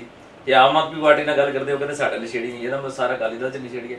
ਇਹ ਇੱਕ ਟਿਪੀਕਲ ਜਿਹਾ ਇੱਕ ਵਰਡ ਦੇਤਾ ਨਸ਼ਾ। ਨਸ਼ੇ ਦੇ ਉੱਤੇ ਮੈਂ ਗੱਲ, ਤੁਸੀਂ ਬਹੁਤ ਅੱਛਾ ਕੁਐਸਚਨ ਪੁੱਛਿਆ ਨਸ਼ੇ ਦੇ ਉੱਤੇ। ਦੇਖੋ, ਨਸ਼ਾ ਇਕੱਲਾ ਪੰਜਾਬ 'ਚ ਨਹੀਂ, ਸਾਰੀ ਦੁਨੀਆ ਦੇ ਵਿੱਚ ਹੈ। ਨਸ਼ੇ ਦੇ ਖਿਲਾਫ ਜੰਗ ਲੜਨੀ, ਸਾਡੇ ਸਾਰਿਆਂ ਦਾ ਫਰਜ਼ ਹੈ। ਅਸੀਂ ਲੀਡਰ ਸਮਾਜ ਦੇ, ਸਾਨੂੰ ਲੋਕ ਫੋਲੋ ਕਰਦੇ ਜੇ ਅਸੀਂ ਕੁਝ ਨਹੀਂ ਕਰਾਂਗੇ ਤੇ ਲੋਕ ਕਿੱਦਾਂ ਕਰਨਗੇ? ਪਰ ਜੇ ਅਸੀਂ ਇਕੱਲਾ ਕਹੀਏ ਵੀ ਪੰਜਾਬ 'ਚ ਨਸ਼ਾ ਸਾਰੀ ਦੁਨੀਆ 'ਚ ਤੇ ਇਹ ਇੱਕ ਝੂਠ ਹੋਏਗਾ। ਤੇ ਜਿਹੜਾ ਪੰਜਾਬ ਦੇ ਨਸ਼ੇ ਦੀ ਗੱਲ ਹੈ, ਪੰਜਾਬ 'ਚ ਨਸ਼ਾ ਹੈ, ਪਰ ਮੈਂ ਸਮਝਾਂਗਾ ਦਿੱਲੀ ਦੇ ਵਿੱਚ ਪਿੱਛੇ ਇੰਟਰਵਿਊ ਹੋਈ ਸੀਗੀ ਰੈੱਡ ਲਾਈਟਾਂ ਦੇ ਉੱਤੇ ਨਸ਼ੇ ਦੀਆਂ ਪੁੜੀਆਂ ਵਿਕ ਰਹੀਆਂ। ਸ਼ੰਭੂ ਬਾ- ਸ਼ੰਭੂ ਜਲ ਜੋ ਤੇ ਉੱਥੋਂ ਪਤਾ ਲੱਗਿਆ ਵੀ ਉਹ ਵੀ ਕਿਸੇ ਨੇ ਵੀਡੀਓ ਪਾਈ ਹੈ, ਨੀਲੇ ਥੋਤੇ ਤੋਂ ਨਸ਼ਾ ਬਣਾ ਕੇ ਵੇਚੀ ਜਾਂਦੇ ਆ। ਹਿਮਾਚਲ ਦੇ ਵਿੱਚ ਨਸ਼ਾ ਵਿਕ ਰਿਹਾ, ਰਾਜਸਥਾਨ ਦੇ ਵਿੱਚ ਸ਼ਰੇਆਮ ਨਸ਼ੇ ਦੇ ਠੇਕੇ ਖੁੱਲੇ ਹੋਏ ਆ। ਉੱਥੇ ਕਿਸੇ ਨੂੰ ਟੈਨਸ਼ਨ ਨਹੀਂ ਹੈਗੀ। ਫਿਰ ਜਿਹੜੀ ਨਸ਼ੇ ਦੀ ਗੱਲ ਪੰਜਾਬ ਤੇ ਕਿਉਂ ਇਹਨਾਂ ਨੇ ਲਾਗੂ ਕੀਤੀ ਹੈ, ਉਹਦਾ ਇੱਕ ਇੱਕ- ਇੱਕ ਤਾਂ ਪੋਲੀਟੀਕਲ ਮੋਟਿਵ ਹੈ, ਕਿਉਂਕਿ ਪੋਲੀਟੀਕਲ ਪ੍ਰੇਰਿਤ ਹੈ, ਸਾਰਾ ਪੋਲੀਟੀਕਲ ਗੇਮ ਚਲਾ ਰਿਹਾ, ਸਾਰੇ ਸਾਰੇ, ਚਾਹੇ ਕੋਈ ਆਮ ਆਦਮੀ ਪਾਰਟੀ ਹੈ, ਚਾਹੇ ਕਾਂਗਰਸ ਹੈ। ਇੱਕ ਤਾਂ ਸਭ ਨਾਲ ਵੱਧ ਬਾਰਡਰ ਪੰਜਾਬ ਨੂੰ ਲੱਗਦਾ। ਸਭ ਨਾਲ ਵੱਧ ਬਾਰਡਰ ਤੋਂ ਜੇ ਨਸ਼ਾ ਉੱਥੋਂ, ਕਿਉਂਕਿ ਬਾਹਰਲੇ ਦੇਸ਼ਾਂ ਤੋਂ ਆਂਦਾ ਕਿਉਂਕਿ ਜਿਹੜਾ ਚਿੱਟਾ ਨਸ਼ਾ ਸੀਗਾ, ਇਹ ਨੀਗਰੋ ਤੋਂ ਸ਼ੁਰੂ ਹੋਇਆ ਹੈ। ਪਹਿਲਾਂ ਨੀਗਰੋ ਫੜੇ ਜਾਂਦੇ ਸੀ, ਕਿਉਂਕਿ ਚਿੱਟਾ ਨਸ਼ਾ ਜਦੋਂ ਲਿਆਂਦੇ ਸੀ। ਉਹ ਪੰਜਾਬ ਸਰਕਾਰ ਨੇ ਕਾਫੀ ਉੱਥੇ ਜਦੋਂ ਜਹਿਦ ਮਗਰ ਬੜੀਆਂ ਐਫ ਆਈ ਆਰ ਦਰਜ ਕੀਤੀਆਂ ਬਾਰਡਰ ਤੇ ਵੀ ਬੜੀਆਂ ਐਫ ਆਈ ਆਰ ਦਰਜ ਹੋਈਆਂ। ਸਭ ਨਾਲ ਵੱਧ ਪੰਜਾਬ ਦੇ ਵਿੱਚ ਐਫ ਆਈ ਆਰ ਦਰਜ ਹੋ ਰਹੀ ਹੈ ਨਸ਼ੇ ਦੇ ਖਿਲਾਫ। ਤੇ ਜਿਹੜਾ ਤਾਂ ਫੜ ਰਿਹਾ ਨਸ਼ਾ, ਉਹਦੇ ਤੇ ਨਸ਼ੇੜੀ ਹੋਣ ਦਾ ਇਲਜ਼ਾਮ ਲੱਗ ਰਿਹਾ। ਜਿਹੜੇ ਨਸ਼ਾ ਉਗਾ ਰਿਹਾ, ਜਿਹੜੇ ਨਸ਼ਾ ਵੇਚ ਰਿਹਾ, ਉਹਨਾਂ ਤੇ ਗੱਲ ਨਹੀਂ ਹੋ ਰਹੀ। ਮੈਂ ਸਾਰੀ ਪਾਰਟੀਆਂ ਨੂੰ ਅੱਜ ਇੱਥੇ ਇੱਕ ਗੱਲ ਕਹਿਣੀ ਚਾਹਾਂਗਾ, ਕਿਉਂਕਿ ਕਾਂਗਰਸ ਵਾਲੇ ਹੋ ਗਏ, ਚਾਹੇ ਆਮ ਆਦਮੀ ਪਾਰਟੀ ਹੋ ਗਏ ਤੇ ਚਾਹੇ ਟੀਮ ਇਨਸਾਫ ਵਾਲੇ ਹੋ ਗਏ। ਅੱਜ ਪੰਜਾਬ ਨੂੰ ਤਰੱਕੀ ਚੱਲ ਰਹੀ ਹੈ ਤੇ ਪੰਜਾਬ ਨੂੰ ਹੋਰ ਤਰੱਕੀ ਦੀ ਲੋੜ ਹੈ। ਕਿਉਂਕਿ ਪੰਜਾਬ ਬਹੁਤ ਸਮੇਂ ਤਰਾਸਦੀ ਰਹੀ ਹੈ, ਕਿਉਂਕਿ ਤੁਸੀਂ ਦੇਖੋ ਵੀ ਇੱਥੇ ਬੜਾ ਪਿਛਲੇ ਸਮੇਂ ਤੇ ਬੜਾ ਨਿਗਾਰ ਆਇਆ ਕਾਫੀ ਨੌਜਵਾਨ ਜਿਹੜੇ ਸਾਡੇ ਪੰਜਾਬ ਦੇ ਚਲੇ ਗਏ, ਪੰਜਾਬ ਦੇ ਪਿੱਛੇ ਸ਼ਹਾਦਤਾਂ ਚਲੇ ਗਈਆਂ, ਪੰਜਾਬ ਨੇ 85% ਤੋਂ ਵੱਧ ਸ਼ਹਾਦਤਾਂ ਦਿੱਤੀਆਂ ਹਰ ਗੱਲ ਦੇ ਉੱਤੇ। ਚਾਹੇ ਸ਼ਹਾਦਤਾਂ ਦੇ ਵਿੱਚ ਵੀ ਇੱਕ ਨੰਬਰ ਹੈ, ਅੱਜ ਜੇ ਗੱਲ ਕਰੀਏ ਡਿਵੈਲਪਮੈਂਟ ਦੀ, ਉਹਦੇ ਵਿੱਚ ਵੀ ਇੱਕ ਨੰਬਰ ਹੈ। ਅੱਜ ਕੱਲ੍ਹ ਇਹ ਇੰਡਸਟਰੀ ਦੀ ਇੰਡਸਟਰੀ ਦੇ ਵਿੱਚ ਵੀ ਇੱਕ ਨੰਬਰ ਹੈ ਖੁੰਬਾ ਉਗਾਉਣ ਦੇ ਵਿੱਚ ਵੀ ਇੱਕ ਨੰਬਰ ਹੈ। ਸਾਰੇ ਹਿੰਦੁਸਤਾਨ ਦਾ ਢਿੱਡ ਜਿਹੜਾ ਪੰਜਾਬ ਭਰਦਾ ਹੈ। ਇੰਡਸਟਰੀ ਦਾ ਕਾਫੀ ਬੰਦ ਹੋ ਚੁੱਕੀ ਹੈ। ਨਹੀਂ ਨਹੀਂ ਇੰਡਸਟਰੀ ਜਿਹੜੀ ਦੇ ਵਿੱਚ। ਨਹੀਂ ਜਿਹੜੀ ਇੰਡਸਟਰੀ ਦੀ ਗੱਲ ਬੰਦ ਕੀਤੀ ਜਾਂਦੀ ਹੈ ਉਹ ਵੀ ਇੱਕ ਇੱਕ ਡਰਾਮਾ ਜਿਹਾ ਹੀ ਚੱਲ ਰਿਹਾ। ਕਾਂਗਰਸ ਰਾਜ ਵੇਲੇ ਕੈਪਟਨ ਸਾਹਿਬ ਵੇਲੇ 5 ਵਜੇ ਤੁਸੀਂ ਦੇਖੋ ਇੰਡਸਟਰੀ ਬੰਦ ਕਰ ਦਿੱਤੀ ਜਾਂਦੀ ਸੀ ਦੁਕਾਨਾਂ ਬੰਦ ਕਰ ਦਿੱਤੀ ਜਾਂਦੀਆਂ ਸੀ ਕਹਿੰਦੇ ਬਿਜਲੀ ਸਾਡੇ ਕੋਲ ਨਹੀਂ ਹੈ। ਉਹਦੇ ਕਰਕੇ ਇੰਡਸਟਰੀ ਕਾਫੀ ਇਫੈਕਟਡ ਹੋਈ ਹੈ। ਤੇ ਠੀਕ ਆ ਹਮੇਸ਼ਾ ਅਕਾਲੀ ਦਲ ਸਰਕਾਰ ਤੇ ਭੰਦੇ ਰਹੇ ਆ ਜਿਹੜੀ ਗੋਬਿੰਦਗੜ੍ਹ ਦੇ ਵਿੱਚ ਜਿੰਨੀ ਇੰਡਸਟਰੀ ਬੰਦ ਹੋਈ ਉਹ ਤਾਂ ਬੰਦ ਹੋਈ ਸੀ ਉੱਥੇ ਲਾਈਟ ਨਹੀਂ ਹੈਗੀ ਸੀ। ਅੱਜ ਲਾਈਟ ਦੁਬਾਰਾ ਦੇਖੋ ਸੁਖਬੀਰ ਸਿੰਘ ਬਾਦਲ ਨੂੰ ਕਹਿੰਦੇ ਸੀ ਵੀ ਇਹ ਲਾਈਟ ਕਿੱਥੋਂ ਲੈਣਗੇ ਘਰੋਂ ਪੈਦਾ ਕਰ ਲੈਣਗੇ ਲਾਈਟ ਤੇ ਅੱਜ ਲਾਈਟ ਦੀ ਕਮੀ ਕਿੱਥੋਂ ਦੂਰ ਹੋ ਗਈ? ਕਿਉਂਕਿ ਲਾਈਟ ਪੈਦਾ ਕੀਤੀ ਜਾ ਰਹੀ ਥਰਮਲ ਪਲਾਂਟ ਨਵੇਂ ਲਗਾਏ ਗਏ ਆ। ਹੋਰ ਅੱਜ ਅਸੀਂ ਗਵਾਂਢੀ ਸੂਬਿਆਂ ਨੂੰ ਵੀ ਲਾਈਟ ਦੇਣ ਦੇ ਬਣ ਗਏ ਆ। ਤੇ ਅੱਜ ਇੰਡਸਟਰੀ ਵਾਪਸ ਆ ਰਹੀ ਹੈ ਕਾਫੀ। ਪਿੱਛੇ ਵੀ ਇਨਵੈਸਟਮੈਂਟ ਪੰਜਾਬ ਹੋਇਆ ਸੀਗਾ। ਉਹਦੇ ਵਿੱਚ ਵੱਡੇ ਘਰਾਣੇ ਰਿਲਾਇੰਸ ਹੋ ਗਿਆ ਟਾਟਾ ਹੋ ਗਿਆ ਮਤਲਬ ਸਾਰੇ ਵੱਡੇ ਵੱਡੇ ਘਰਾਣੇ ਉੱਥੇ ਆਏ ਸੀ। ਅੱਜ 300 ਤੋਂ ਵੱਧ ਨਵੀਂ ਇੰਡਸਟਰੀ ਆ ਚੁੱਕੀ ਹੈ ਜਿਹੜੀ ਅੱਜ ਤੱਕ ਸੋਚੀ ਨਹੀਂ ਸੀ ਅੱਜ ਸੋਲਰ ਸਿਸਟਮ ਦੇ ਉੱਤੇ ਤੁਸੀਂ ਦੇਖ ਲਓ ਵੀ ਸਭ ਨਾਲ ਵੱਡਾ ਪ੍ਰੋਜੈਕਟ ਹਿੰਦੁਸਤਾਨ ਦਾ ਪੰਜਾਬ ਦੇ ਵਿੱਚ ਲੱਗਿਆ। ਇੱਕ ਗੱਲਾਂ ਸਿਰਫ ਕੀ ਹੈ ਅੱਜ ਘਬਰਾਏ ਹੋਏ ਵਿਰੋਧੀ। ਨਹੀਂ ਵੱਡੇ ਵੱਡੀ ਇੰਡਸਟਰੀ ਆ ਰਹੀ ਹੈ। ਪਰ ਛੋਟੀ ਛੋਟੀ ਇੰਡਸਟਰੀ ਰਹੀ ਦੁਬਾਰਾ ਛੋਟੀ 300 ਇੰਡਸਟਰੀ ਹੈ ਜੀ ਤੁਸੀਂ ਅੱਜ ਦਾ ਵੀ ਟਾਈਮਸ ਆਫ ਇੰਡੀਆ ਦੀ ਅਖਬਾਰ ਪੜ੍ਹ ਸਕਦੇ ਹੋ। ਉਹ 'ਚ 300 ਇੰਡਸਟਰੀ ਨਵੀਂ ਛੋਟੀ ਦੁਬਾਰਾ ਲੱਗ ਰਹੀ ਹੈ ਗੋਬਿੰਦਗੜ੍ਹ ਦੇ ਵਿੱਚ। ਇਹ ਕੀ ਹੈ ਸਿਰਫ ਆਮ ਆਦਮੀ ਪਾਰਟੀ ਚਾਹੇ ਕਾਂਗਰਸ ਹੈ ਚਾਹੇ ਹੋਰ ਨਿਰਦਲੀ ਬੰਦੇ ਹੈਗੇ ਉਹਨਾਂ ਕੋਲ ਅੱਜ ਕੋਈ ਮੁੱਦਾ ਨਹੀਂਗਾ ਪੰਜਾਬ ਦੇ ਖਿਲਾਫ। ਉਹ ਸਾਨੂੰ ਘੇਰਣ ਕਿਉਂਕਿ ਜਿਹੜਾ ਵਿਧਾਨ ਸਭਾ ਦਾ ਐਮਐਲਏ ਹੁੰਦਾ ਉਹਦਾ ਕਈ ਕੰਮ ਹੁੰਦੇ ਆ ਕਰਨ ਵਾਲੇ। ਉਹ ਕੰਮ ਨਹੀਂ ਕਰ ਰਹੇ ਸਿਰਫ ਇੱਕ ਰੋਲੇਬਾਜੀ ਬਾਰੇ ਨਸ਼ਾ ਬੜਾ ਜੀ ਰੇਤਾ ਕਰਕੇ ਜੀ ਇੰਡਸਟਰੀ ਕਰਕੇ ਜੀ। ਸਿਰਫ ਉਹਨਾਂ ਕੋਲ ਕੋਈ ਮੁੱਦਾ ਨਾ ਹੋਣ ਦੇ ਕਰਕੇ ਇਹ ਚੀਜ਼ਾਂ ਲੈ ਕੇ ਆ ਰਹੇ ਆ। ਮੈਂ ਮੁੱਦੇ ਦੀ ਗੱਲ ਕਰਨ ਸਾਨੂੰ ਡਿਵੈਲਪਮੈਂਟ ਦੇ ਉੱਤੇ ਗੱਲ ਕਰਨ ਕਿਉਂ ਨਹੀਂ ਕਰਦੇ? ਪ੍ਰਾਪਰਟੀ ਵੀ ਡਾਊਨ ਜਾ ਰਹੀ ਹੈ ਪ੍ਰਾਪਰਟੀ ਦੇ ਵਿੱਚ ਵੀ ਅਕਾਲੀ ਸਰਕਾਰ ਦਾ ਆ ਰਿਹਾ। ਨਹੀਂ ਦੇਖੋ ਫਿਰ ਮੈਂ ਜਦੋਂ ਦੀ ਅਕਾਲੀ ਸਰਕਾਰ ਆਈ ਹੈ ਪ੍ਰਾਪਰਟੀ ਡਾਊਨ ਹੋ ਗਈ ਹੈ। ਨਹੀਂ ਜੀ ਜਿਹੜੀ ਪ੍ਰਾਪਰਟੀ ਦੀ ਗੱਲ ਹੈ ਅੱਜ ਸਾਰੇ ਦੁਨੀਆ ਦੇ ਵਿੱਚ ਪ੍ਰਾਪਰਟੀ ਡਾਊਨ ਦਾ ਕਾਰਨ ਕੀ ਹੈ? ਕਿਉਂਕਿ ਐਕਸੈਸ ਰੇਟ ਵੱਧ ਚੁੱਕੇ ਆ। ਜਿਹੜੀ ਚੀਜ਼ 5000 ਰੁਪਏ ਗੱਜ ਦੀ ਆਪਾਂ ਮੰਨ ਲਈਏ ਤੇ ਅੱਜ 20000 ਰੁਪਏ ਗੱਜ ਤੇ ਪਹਿਲਾਂ ਹੀ ਖੜ ਗਈ ਹੈ। ਤੇ ਕਿ ਜਿਹੜਾ ਆਮ ਇਨਸਾਨ ਹੁੰਦਾ ਉਹ ਅੱਜ ਮਕਾਨ ਬਣਾਉਣ ਤੋਂ ਅਸਮਰਥ ਹੋ ਚੁੱਕਾ। ਤੇ ਇੱਕ ਥੋੜਾ ਜਿਹਾ ਖੜਾਵ ਆਇਆ, ਉਹ ਖੜਾਵ ਇਸ ਕਰਕੇ ਆਇਆ ਕਿਉਂਕਿ ਤੇਜ਼ੀ ਜਿਹੜੀ ਜਿਹੜੀ ਤੇਜ਼ੀ ਸੀਗੀ, ਉਹ ਸਿਰ ਸਿਰਫ ਇਨਵੈਸਟਮੈਂਟਰ ਜਿਹੜੇ ਜਿਹੜੇ ਇਨਵੈਸਟ ਕਰਦੇ ਸੀਗੇ, ਇੱਕ ਫਰਜੀ ਜੀ ਤੇਜ਼ੀ ਸੀ, ਉਹ ਇੱਕ ਰੁਕ ਗਈ ਆ, ਬਸ ਉਹ ਕੱਲੀ ਪੰਜਾਬ 'ਚ ਨਹੀਂ, ਅੱਜ ਕਿਸੇ ਵੀ ਦਿੱਲੀ ਸਟੇਟ ਚਲ ਜਾਓ, ਗੁਜਰਾਤ ਚਲ ਜਾਓ, ਸਾਰੀ ਜਗ੍ਹਾ ਤੇ ਪ੍ਰਾਪਰਟੀ ਮੈਂ ਤਾਂ ਕਹਿੰਦਾ ਅਮਰੀਕਾ ਦੇ ਵਿੱਚ ਸਭ ਨਾਲੋਂ ਘੱਟ ਪ੍ਰਾਪਰਟੀ ਦੇ ਰੇਟ ਹੋਏ ਹੋਏ ਆ, ਅੱਜ ਉਹ ਸਾਨੂੰ ਬੁਲਾਉਂਦੇ ਆਓ ਸਾਡੇ ਪ੍ਰਾਪਰਟੀ ਇਨਵੈਸਟ ਕਰੋ, ਇਹ ਕੁਝ ਕਿ ਇਹਨਾਂ ਨਾਲ ਕੋਈ ਫ਼ਰਕ ਨਹੀਂ ਪੈਂਦਾ ਇਸ ਇੱਕ ਤੁਸੀਂ ਪਿੱਛੇ ਮੁਹਿੰਮ ਚਲਾਈ ਸੀਗੀ ਨਸ਼ਾ ਨਸ਼ਾ ਦੇ ਠੇਕੇ ਦੇ ਬਾਹਰ ਦੁੱਧ ਪਲਾਉਣ ਦੀ। ਜੀ ਜੀ। ਕੀ ਇਹ ਮੁਹਿੰਮ ਅੱਜ ਤੱਕ ਚੱਲਦੀ ਵੀ ਹੈ? ਬਿਲਕੁਲ ਚੱਲ ਰਹੀ ਹੈ ਜੀ। ਉਹ ਸਾਨੂੰ ਇੱਕ ਟੀਸ ਹੁੰਦੀ ਸੀ ਜਦੋਂ ਕਹਿੰਦੇ ਸੀ ਪੰਜਾਬ ਨਸ਼ੇੜੀ ਹੈ ਤੇ ਮੈਂ ਤਾਂ ਕਹਾਂਗਾ ਹਰ ਕੰਮ ਦੇ ਵਿੱਚ ਚੰਗੇ ਕੰਮ ਦੇ ਵਿੱਚ ਪੰਜਾਬੀ ਅੱਗੇ ਹੁੰਦਾ ਤੇ ਉਦੋਂ ਬੜਾ ਟੀਸ ਉੱਠਦੀ ਸੀ। ਮਾਲਕ ਦੇ ਅੱਗੇ ਅਰਦਾਸ ਕੀਤੀ ਕਿ ਕੋਈ ਆਟੋਮੈਟਿਕ ਜਿਵੇਂ ਕਿ ਇਹ ਦਿਮਾਗ ਨਾਲ ਨਹੀਂ ਆਟੋਮੈਟਿਕ ਰੱਬ ਦੇ ਵੱਲੋਂ ਇੱਕ ਠੇਕੇ ਦੇ ਬਾਹਰ ਦੁੱਧ ਲਾਇਆ ਤੇ ਸਾਨੂੰ ਉਹਦਾ ਬੜਾ ਲੋਕਾਂ ਵੱਲੋਂ ਹੁੰਗਾਰਾ ਮਿਲਿਆ। ਤੇ ਲਗਾਤਾਰ ਚੱਲ ਰਹੀ ਹੈ ਜੀ। ਉਹ ਘੱਟੋ ਘੱਟ ਅੱਜ 8 ਸਟੇਟਾਂ ਦੇ ਵਿੱਚ ਚੱਲ ਰਹੀ ਹੈ। ਕਿਤੇ ਨਾ ਕਿਤੇ ਇਹ ਰੋਜ਼ ਠੇਕਿਆਂ ਦੇ ਬਾਹਰ ਦੁੱਧ ਲੱਗਦਾ ਸਾਡੇ ਵੱਲੋਂ ਵੀ ਲੱਗ ਰਿਹਾ। ਤੇ ਮੈਂ ਸਮਝਦਾ ਕਿ ਸਾਡੀ ਕਾਮਯਾਬੀ ਹੈ ਵੀ ਜੇ ਬੰਦੇ ਦੇ ਅੰਦਰ ਚਾਹ ਹੋਵੇ ਤੇ ਰਾਹ ਵੀ ਮਿਲ ਜਾਂਦਾ। ਤੇ ਅੱਜ ਪੰਜਾਬੀ ਜਿੱਦਾਂ ਪਹਿਲਾਂ ਵੀ ਮੈਂ ਗੱਲ ਕੀਤੀ ਸੀ ਪੰਜਾਬੀ ਹਰ ਗੱਲ ਤੇ ਮੋਰੀ ਹੈ। ਅੱਜ ਨਸ਼ਾ ਖਤਮ ਕਰਨ 'ਚ ਵੀ ਪੰਜਾਬੀ ਸਾਰੇ ਮੋਰੀ ਹੈ। ਅਸੀਂ ਸਾਰੇ ਰਲ ਮਿਲ ਕੇ ਸਾਨੂੰ ਅੱਜ ਬਿਆਨਬਾਜ਼ੀ ਤੋਂ ਉੱਪਰ ਉੱਠ ਕੇ ਕੰਮ ਕਰਨ ਦੀ ਲੋੜ ਹੈ। ਮੈਂ ਤਾਂ ਉਹ ਉਹ ਕਾਂਗਰਸ ਪਰਿਵਾਰਾਂ ਨੂੰ ਜਾਂ ਦੂਜੇ ਅ, ਆਪ ਆਦਮੀ ਪਾਰਟੀ ਨੂੰ ਕਹਾਂਗਾ ਜਿਹੜੇ ਕਹਿੰਦੇ 70% ਨਸ਼ੇ ਹੈ ਉਹਨਾਂ ਦੇ ਪਰਿਵਾਰ ਦੇ ਜੇ 10 ਬੰਦੇ ਦਾ ਮਤਲਬ 7 ਬੰਦੇ ਨਸ਼ਾ ਕਰਦੇ ਆ। ਇਹ ਤਾਂ ਉਹ ਔਰਤਾਂ ਨੂੰ ਜਿਹੜੇ ਜ- ਮਾਤਾ ਭਾਗਕੌਰ ਦੀਆਂ ਵਾਰਸਾਂ ਨੂੰ ਉਹਨਾਂ ਨੂੰ ਮਾੜੀ ਗੱਲ ਕਹਿਣ ਦੇ ਬਰਾਬਰ ਹੈ ਤੇ ਇਦਾਂ ਦਾ ਨਹੀਂ ਹੋਣਾ ਚਾਹੀਦਾ। ਇੱਕ ਹੋਰ ਦੱਸੋ ਬੈਂਸ ਬ੍ਰਦਰ ਤੇ ਤੁਹਾਡੀ ਅਕਾਲੀਆਂ ਦੇ। ਆਪਸ ਵਿੱਚ ਅੱਜਕੱਲ ਕਾਫੀ ਜ਼ਿਆਦਾ ਚਰਚਾ ਵਿੱਚ ਹੈ। ਚਾਹੇ ਉਹ ਕੇਵਲ ਦਾ ਕੰਮ ਹੋਏ ਚਾਹੇ ਹੋਰ ਕੋਈ ਕੋਈ ਵੀ ਕੰਮ ਹੋਏ। ਜੀ ਜੀ। ਇਹਦੇ ਵਿੱਚ ਕੀ ਰਾਏ ਹੈ ਤੁਹਾਡੀ? ਦੇਖੋ ਮੈਂ ਬੈਂਸ ਬ੍ਰਦਰ ਨੂੰ ਸਾਡੇ ਐਮਐਲਏ ਸਾਹਿਬਾਨ ਹੈ ਦੋ ਭਰਾ ਐਮਐਲਏ ਹੈ। ਅਚੀਵਮੈਂਟ ਹੈ ਉਹਨਾਂ ਦੀ ਬੜੇ ਮਾਣਯੋਗ ਹੈ। ਪਰ ਜਿਹੜੇ ਕੰਮ ਦੇਖੋ ਉਹਨਾਂ ਦੇ ਹਾਲਾਤ ਇਹ ਆ ਵੀ ਸਾਊਥ ਤੇ ਆਤਮਨਗਰ ਉਹਨਾਂ ਨੂੰ ਜਿਤਾਇਆ ਸੀ। ਉਹ ਬਾਰ-ਬਾਰ ਜਦੋਂ ਇਲੈਕਸ਼ਨਾਂ ਦੇ ਵਿੱਚ ਇਲੈਕਸ਼ਨਾਂ ਤੋਂ ਪਹਿਲਾਂ ਸਪੀਚਾਂ ਕਰਦੇ ਹੁੰਦੇ ਸੀ, ਉਹ ਕਹਿੰਦੇ ਸੀ ਵੀ 115 ਐਮਐਲਏ ਨੂੰ ਅਸੀਂ ਅਕਲ ਸਿਖਾ ਦਾਂਗੇ, ਸਾਨੂੰ ਦੋ ਭਰਾਵਾਂ ਨੂੰ ਐਮਐਲਏ ਬਣਾ ਦਿਓ। ਤੇ ਅੱਜ ਜਦੋਂ ਉਹਨਾਂ ਨੂੰ ਪੁੱਛਿਆ ਜਾਂਦਾ ਵੀ ਤੁਹਾਡੇ ਇਲਾਕੇ 'ਚ ਡਿਵੈਲਪਮੈਂਟ ਕਿਉਂ ਘੱਟ ਹੈ, ਤੇ ਉਹ ਬਾਰ-ਬਾਰ ਇਹੀ ਗੱਲ ਕਹਿੰਦੇ ਵੀ ਸਰਕਾਰ ਸਾਡਾ ਕੰਮ ਨਹੀਂ ਕਰਦੀ। ਮੈਨੂੰ ਇਹ ਨਹੀਂ ਸਮਝ ਆਉਂਦੀ ਲੜੇ ਤਾਂ ਆਜ਼ਾਦ ਸੀਗੇ। ਤੇ ਉਦੋਂ ਇਹ ਕੰਮ ਕਿੱਦਾਂ ਸਿਖਾਣਾ ਸੀ ਉਹਨਾਂ ਨੇ? ਤੇ ਅੱਜ ਇਹ ਗੱਲ ਕਿਉਂ ਆਪਾਂ ਬਾਰ-ਬਾਰ ਕਹਿੰਦੇ ਵੀ ਸਾਡੀ ਸਰਕਾਰ ਨਹੀਂ ਹੈਗੀ? ਸਿਰਫ ਉਹਨਾਂ ਨੇ ਅੱਜ ਇੱਕ ਮੁੱਦੇ ਲੱਭ ਰਹੇ ਆ। ਪਹਿਲਾਂ ਰੇਤਾ ਦਾ ਮੁੱਦਾ ਲੱਭਿਆ ਸੀ ਉਹਨਾਂ ਨੇ। ਫਿਰ ਉਹ ਰੇਤਾ ਵਾਲੇ ਤਾਂ ਉੱਥੇ ਹੀ ਖੜਾ ਹੈ ਮੁੱਦਾ। ਜਦੋਂ ਉਹਨਾਂ ਨੂੰ ਪਤਾ ਲੱਗਿਆ ਵੀ ਰੇਤਾ ਆਟੋਮੈਟਿਕ ਸਰਕਾਰ ਆਪਣੇ ਕੰਟਰੋਲ 'ਚ ਲੈ ਕੇ ਰੇਟ ਘਟਾ ਰਹੀ ਹੈ ਤੇ ਉਹਨਾਂ ਨੇ ਰੋਲਾ ਪਾਣਾ ਸ਼ੁਰੂ ਕਰਤਾ। ਫਿਰ ਉਸ ਤੋਂ ਬਾਅਦ ਇਹਨਾਂ ਨੇ ਨਸ਼ੇ ਦੇ ਖਿਲਾਫ ਇਲਜ਼ਾਮ ਲਵਾਏ। ਤੇ ਮੈਂ ਤਾਂ ਇਹ ਸਮਝਦਾ ਵੀ ਜਿਹੜੇ ਆਪ 7 ਸਾਲ ਅਕਾਲੀ ਦਲ ਦੇ ਵਿੱਚ ਆਨੰਦ ਮਾਣਦੇ ਰਹੇ ਆ, ਅੱਜ ਜਿਹੜੇ ਲੋਕ ਗਰੀਬਾਂ ਦੇ ਮਸੀਹਾ ਕਹਿੰਦੇ ਸੀ, ਆਪ 10 ਕਿਲਿਆਂ ਦੀ ਕੋਠੀ ਦੇ ਵਿੱਚ ਰਹਿ ਰਹੇ ਆ। ਤੇ ਜਿਹੜੇ ਕਹਿੰਦੇ ਸੀ ਵੀ ਇੱਥੇ ਇੰਡਸਟਰੀ ਗਰੋ ਨਹੀਂ ਕਰ ਰਹੀ, ਉਹਨਾਂ ਦੀ ਇੰਡਸਟਰੀ ਗਰੋ ਕਰਕੇ ਉਹ ਅੱਜ ਅਰਬਾਂ ਰੁਪਏ ਦਾ ਬਿਜ਼ਨਸ ਕਰ ਰਹੇ ਆ। ਬਿਜਲੀ ਚੋਰੀ ਦੇ ਇਲਜ਼ਾਮ ਉਹਨਾਂ ਤੇ ਹੈ ਏ ਕਲਾਸ 1 ਅਫਸਰਾਂ ਦੀ ਪੱਗ ਲਾਉਣ ਦਾ ਇਲਜ਼ਾਮ ਉਹਨਾਂ ਤੇ ਹੈ ਜਿਹੜਾ ਬੰਦਾ ਆਪ ਪੱਗ ਬੰਦਾ ਹੋਵੇ ਦੂਜੇ ਦੀ ਪੱਗ ਨੂੰ ਹੱਥ ਕਿੱਦਾਂ ਪਾਇਆ ਜਾ ਸਕਦਾ? ਇਹ ਗੱਲਾਂ ਦੇ ਬਾਵਜੂਦ ਜਦੋਂ ਮੈਨੂੰ ਉਹ ਦੇਖਿਆ ਵੀ ਉਹ ਹਰ ਗੱਲ ਮੁੱਦਾ ਬਣਾ ਰਿਹਾ ਆ ਪਿਛਲੇ ਦਿਨੀ ਉਹਨਾਂ ਨੇ ਇੱਕ ਮੁੱਦਾ ਬਣਾ ਲਿਆ ਕੇਬਲ ਕੱਟਣ ਦਾ। ਮੈਨੂੰ ਬੜੀ ਹੈਰਾਨਗੀ ਹੋਈ ਕਿ ਇੱਕ ਐਮਐਲਏ ਸਬੰਧ ਦੇ ਕੰਮ ਹੁੰਦੇ ਆ ਵੀ ਆਪਣੇ ਇਲਾਕੇ ਦੇ ਵਿੱਚ ਕੀ ਸਿਵਲ ਹਸਪਤਾਲ ਹੈ ਕਿ ਨਹੀਂ ਹੈ, ਕੀ ਉਹਦੇ ਅੰਦਰ ਡਿਸਪੈਂਸਰੀ ਹੈ ਕਿ ਨਹੀਂ ਹੈ, ਕੀ ਸਾਡੇ ਇਲਾਕੇ ਦੀਆਂ ਸੜਕਾਂ ਬਣੀਆਂ ਕਿ ਨਹੀਂ ਬਣੀਆਂ, ਕੀ ਸਾਡੇ ਇਲਾਕੇ 'ਚ ਪਾਰਕਾਂ ਹੈ ਕਿ ਨਹੀਂ ਹੈ। ਇਦਾਂ ਦੇ ਸੈਂਕੜੇ ਮੁੱਦੇ ਆ ਜਿਹੜੇ ਐਮਐਲਏ ਬਾਹਰ ਕਰ ਸਕਦੇ ਆ। ਪਰ ਉਹਨਾਂ ਨੂੰ ਇਸ ਗੱਲ ਤੋਂ ਹਟ ਕੇ ਸਿਰਫ ਇੱਕ ਮੁੱਦਾ ਲੱਭ ਰਿਹਾ ਕੇਬਲ ਦਾ ਮੁੱਦਾ ਲੱਭ ਰਿਹਾ, ਉਹਦੇ ਵਿੱਚ ਇੱਕ ਗੁਰਬਾਣੀ ਦੇ ਧਾਰਮਿਕ ਚੈਨਲ ਮੇਰੇ ਖਿਆਲ 10 12 ਦੇ ਕਰੀਬ ਚੱਲਦੇ ਆ 6-7 ਗੁਰਦੁਆਰੇ ਕਵਰ ਕਰਦੇ ਆ 5-6 ਮੰਦਰਾਂ ਦੇ ਕਵਰ ਕਰਦੇ ਆ। ਡਿਸ਼ ਦੇ ਵਿੱਚ ਇਹ ਚੀਜ਼ਾਂ ਨਹੀਂ ਆ ਰਹੀਆਂ। ਡਿਸ਼ ਵਾਲਿਆਂ ਨਾਲ ਮੈਨੂੰ ਮੈਨੂੰ ਐ ਪ੍ਰਤੀਤ ਹੁੰਦਾ ਵੀ ਜਿੱਦਾਂ ਡਿਸ਼ ਵਾਲਿਆਂ ਨਾਲ ਆਪਣੇ ਕਮਿਸ਼ਨ ਸੈਟਿੰਗ ਕਰਕੇ ਤੇ ਉਹ ਉਹਨਾਂ ਨੇ ਰੋਲਾ ਪਾਤਾ ਕਿ ਕੇਬਲ ਕੱਟਣ ਦੀ ਗੱਲ ਕਰਨ ਲੱਗੇ ਵੀ 50000 ਅਸੀਂ ਡਿਸ਼ਾਂ ਲਵਾਵਾਂਗੇ 800 ਰੁਪਏ ਦੇ ਹਿਸਾਬ ਨਾਲ। ਉਹ ਡੇ- ਕੇਬਲ ਡਿਸ਼ ਦੇ ਵਿੱਚ ਤਾਂ ਪਹਿਲਾਂ ਹੀ 300 350 ਰੁਪਏ ਰੇਟ ਹੈਗਾ। ਇਹ ਤਾਂ ਕੇਬਲ ਜੇ ਕੇਬਲ ਤੇ ਰੋਲਾ ਪਾਉਂਦੇ ਆ, ਦਿੱਲੀ ਦੇ ਵਿੱਚ ਕੇਜਰੀਵਾਲ ਸਰਕਾਰ ਉੱਤੇ 300 ਰੁਪਏ ਰੇਟ ਹੈ ਕੇਬਲ ਦਾ। ਇੱਥੇ 250 ਰੁਪਏ ਰੇਟ ਹੈ ਇਹ ਸਿਰਫ ਇੱਕ ਮੁੱਦੇ ਬਣਾ ਕੇ ਲਿਆ ਰਿਹਾ ਤੇ ਅੱਜ ਤੁਸੀਂ ਸੋਸ਼ਲ ਮੀਡੀਆ 'ਚ ਦੇਖ ਸਕਦੇ ਹੋ, ਇੱਕ ਉਹਨਾਂ ਨੂੰ ਖਿਤਾਬ ਮਿਲ ਗਿਆ ਵੀ ਸਭ ਨਾਲ ਪੰਜਾਬ ਦਾ ਵਿਲਾ ਐਮਐਲਏ ਕਿਉਂਕਿ ਉਹਨਾਂ ਕੋਲ ਕੋਈ ਮੁੱਦਾ ਨਹੀਂ ਸਿਰਫ ਕੰਮ ਕਰਦਾ ਕੋਈ ਮੁੱਦਾ ਨਹੀਂ, ਕੰਮ ਕਰਦੇ ਕੋਈ ਨਹੀਂ। ਸਿਰਫ ਮੁੱਦੇ ਬਣਾ ਕੇ ਲੋਕਾਂ 'ਚ ਸਿੱਟ ਕੇ ਆਪਣੇ ਆਪ ਨੂੰ ਵੱਡੇ ਕਰ ਰਿਹਾ। ਮੈਂ ਉਹਨਾਂ ਨੂੰ ਕਹਾਂਗਾ ਕਿ ਤੁਸੀਂ ਪੰਜਾਬ ਦੇ ਜਾਇਓ ਪੰਜਾਬ ਦੀ ਧਰਤੀ ਤੇ ਤੁਹਾਡਾ ਜਨਮ ਹੋਇਆ ਤੁਹਾਨੂੰ ਪੰਜਾਬ ਦੇ ਲੋਕਾਂ ਨੇ ਪਿਆਰ ਦਿੱਤਾ ਐਮਐਲਏ ਬਣਾਇਆ। ਮੈਂ ਉਹਨਾਂ ਨੂੰ ਬੇਨਤੀ ਕਰਾਂਗਾ ਤੁਹਾਡੇ ਚੈਨਲ ਰਾਹੀਂ ਕਿ ਘੱਟੋ ਘੱਟ ਲੋਕਾਂ ਦੀਆਂ ਸਮੱਸਿਆਵਾਂ ਸੁਣੋ। ਮੈਂ ਰੋਜ਼ ਉੱਥੇ ਮੀਟਿੰਗਾਂ ਕਰ ਰਿਹਾ ਨੁੱਕੜ ਮੀਟਿੰਗਾਂ ਕਰ ਰਿਹਾ ਲੋਕਾਂ ਦੇ ਵਿੱਚ ਜਾ ਰਿਹਾ। ਲੋਕਾਂ ਦੀਆਂ ਪੈਨਸ਼ਨਾਂ ਨਹੀਂ ਸਰਕਾਰ ਵੱਲੋਂ ਪੈਨਸ਼ਨਾਂ ਦੀਆਂ ਸਕੀਮਾਂ ਸ਼ੁਰੂ ਕੀਤੀਆਂ ਗਈਆਂ। ਹੋਰ ਅਨੇਕਾਂ ਅ, ਆਟਾ ਦਾਲ ਸਕੀਮ ਹੈ ਨੀਲੇ ਕਾਰਡਾਂ ਲਈ ਸਕੀਮ ਹੈ ਇੰਸ਼ੋਰੈਂਸ ਵਾਲੀ ਸਕੀਮ ਹੈ ਇੱਕ ਬਾਲਿਆਂ ਵਾਲੀ ਸਕੀਮ ਸੀ ਵੀ ਜਿਹੜਾ 1.5 ਲੱਖ ਰੁਪਏ ਸਰਕਾਰ ਵੱਲੋਂ ਦਿੱਤਾ ਜਾ ਰਿਹਾ। ਫਿਰ ਉਹ ਸੀ ਜਿਨ੍ਹਾਂ ਦੇ ਘਰ ਨਹੀਂ ਹੈਗੇ ਉਹਨਾਂ ਨੂੰ ਘਰ ਦਿੱਤੇ ਜਾ ਰਹੇ ਆ ਸਰਕਾਰ ਵੱਲੋਂ। ਕੋਈ ਵੀ ਉਹਨਾਂ ਨੇ ਫਾਈਲ ਨਹੀਂ ਲਾਈ ਤੇ ਕਹਿੰਦੇ ਸਰਕਾਰ ਸਾਡੇ ਕੰਮ ਨਹੀਂ ਕਰਦੀ। ਇੱਕ ਬਿਲਕੁਲ ਇੱਕ ਤਰੀਕਾ ਹੁੰਦਾ, ਵਿਧਾਨ ਸਭਾ ਦੇ ਵਿੱਚ ਇੱਕ ਜਦੋਂ ਵੀ ਆਪਾਂ ਕੋਈ ਕੰਮ ਕਰਾਉਣਾ ਹੁੰਦਾ, ਇੱਕ ਫਾਈਲ ਬਣਾ ਕੇ ਅੱਗੇ ਭੇਜਣੀ ਹੁੰਦੀ ਹੈ। ਇਹਨਾਂ ਨੇ ਕੋਈ ਫਾਈਲ ਨਹੀਂ ਭੇਜੀ ਤੇ ਉਲਟਾ ਕਹਿ ਰਹੇ ਸਰਕਾਰ ਕੰਮ ਨਹੀਂ ਕਰ ਰਹੀ, ਸਿਰਫ ਮੁੱਦਾ ਬਣਾਉਣ ਵਾਸਤੇ ਕੰਮ ਕਰ ਰਿਹਾ। ਤੇ ਅੱਜ ਲੋਕ ਤਰਾਈ ਤਰਾਈ ਕਰ ਰਹੇ ਤੇ ਆਉਣ ਵਾਲਾ ਟਾਈਮ ਮੈਨੂੰ ਮੈਂ, ਮੇਰਾ ਉਹਨਾਂ ਨਾਲ ਤਾਂ ਵਿਵਾਦ ਹੈ, ਕਿਉਂਕਿ ਦਾਸ ਨੂੰ ਯੂਥ ਅਕਾਲੀ ਦਲ ਦੀ ਡਿਊਟੀ ਉੱਥੇ ਮਿਲੀ ਹੋਈ ਹੈ। ਤੇ ਮੇਰਾ ਫਰਜ਼ ਬਣਦਾ ਕਿ ਲੋਕਾਂ ਦੇ ਹੱਕਾਂ ਲਈ ਲੋਕਾਂ ਦੇ ਹਿੱਤਾਂ ਲਈ ਖੜਾ ਲੀਡਰ ਉਹੀ ਹੁੰਦਾ ਜਿਹੜੇ ਲੋਕਾਂ ਦੇ ਹਿੱਤਾਂ ਲਈ ਖੜੇ।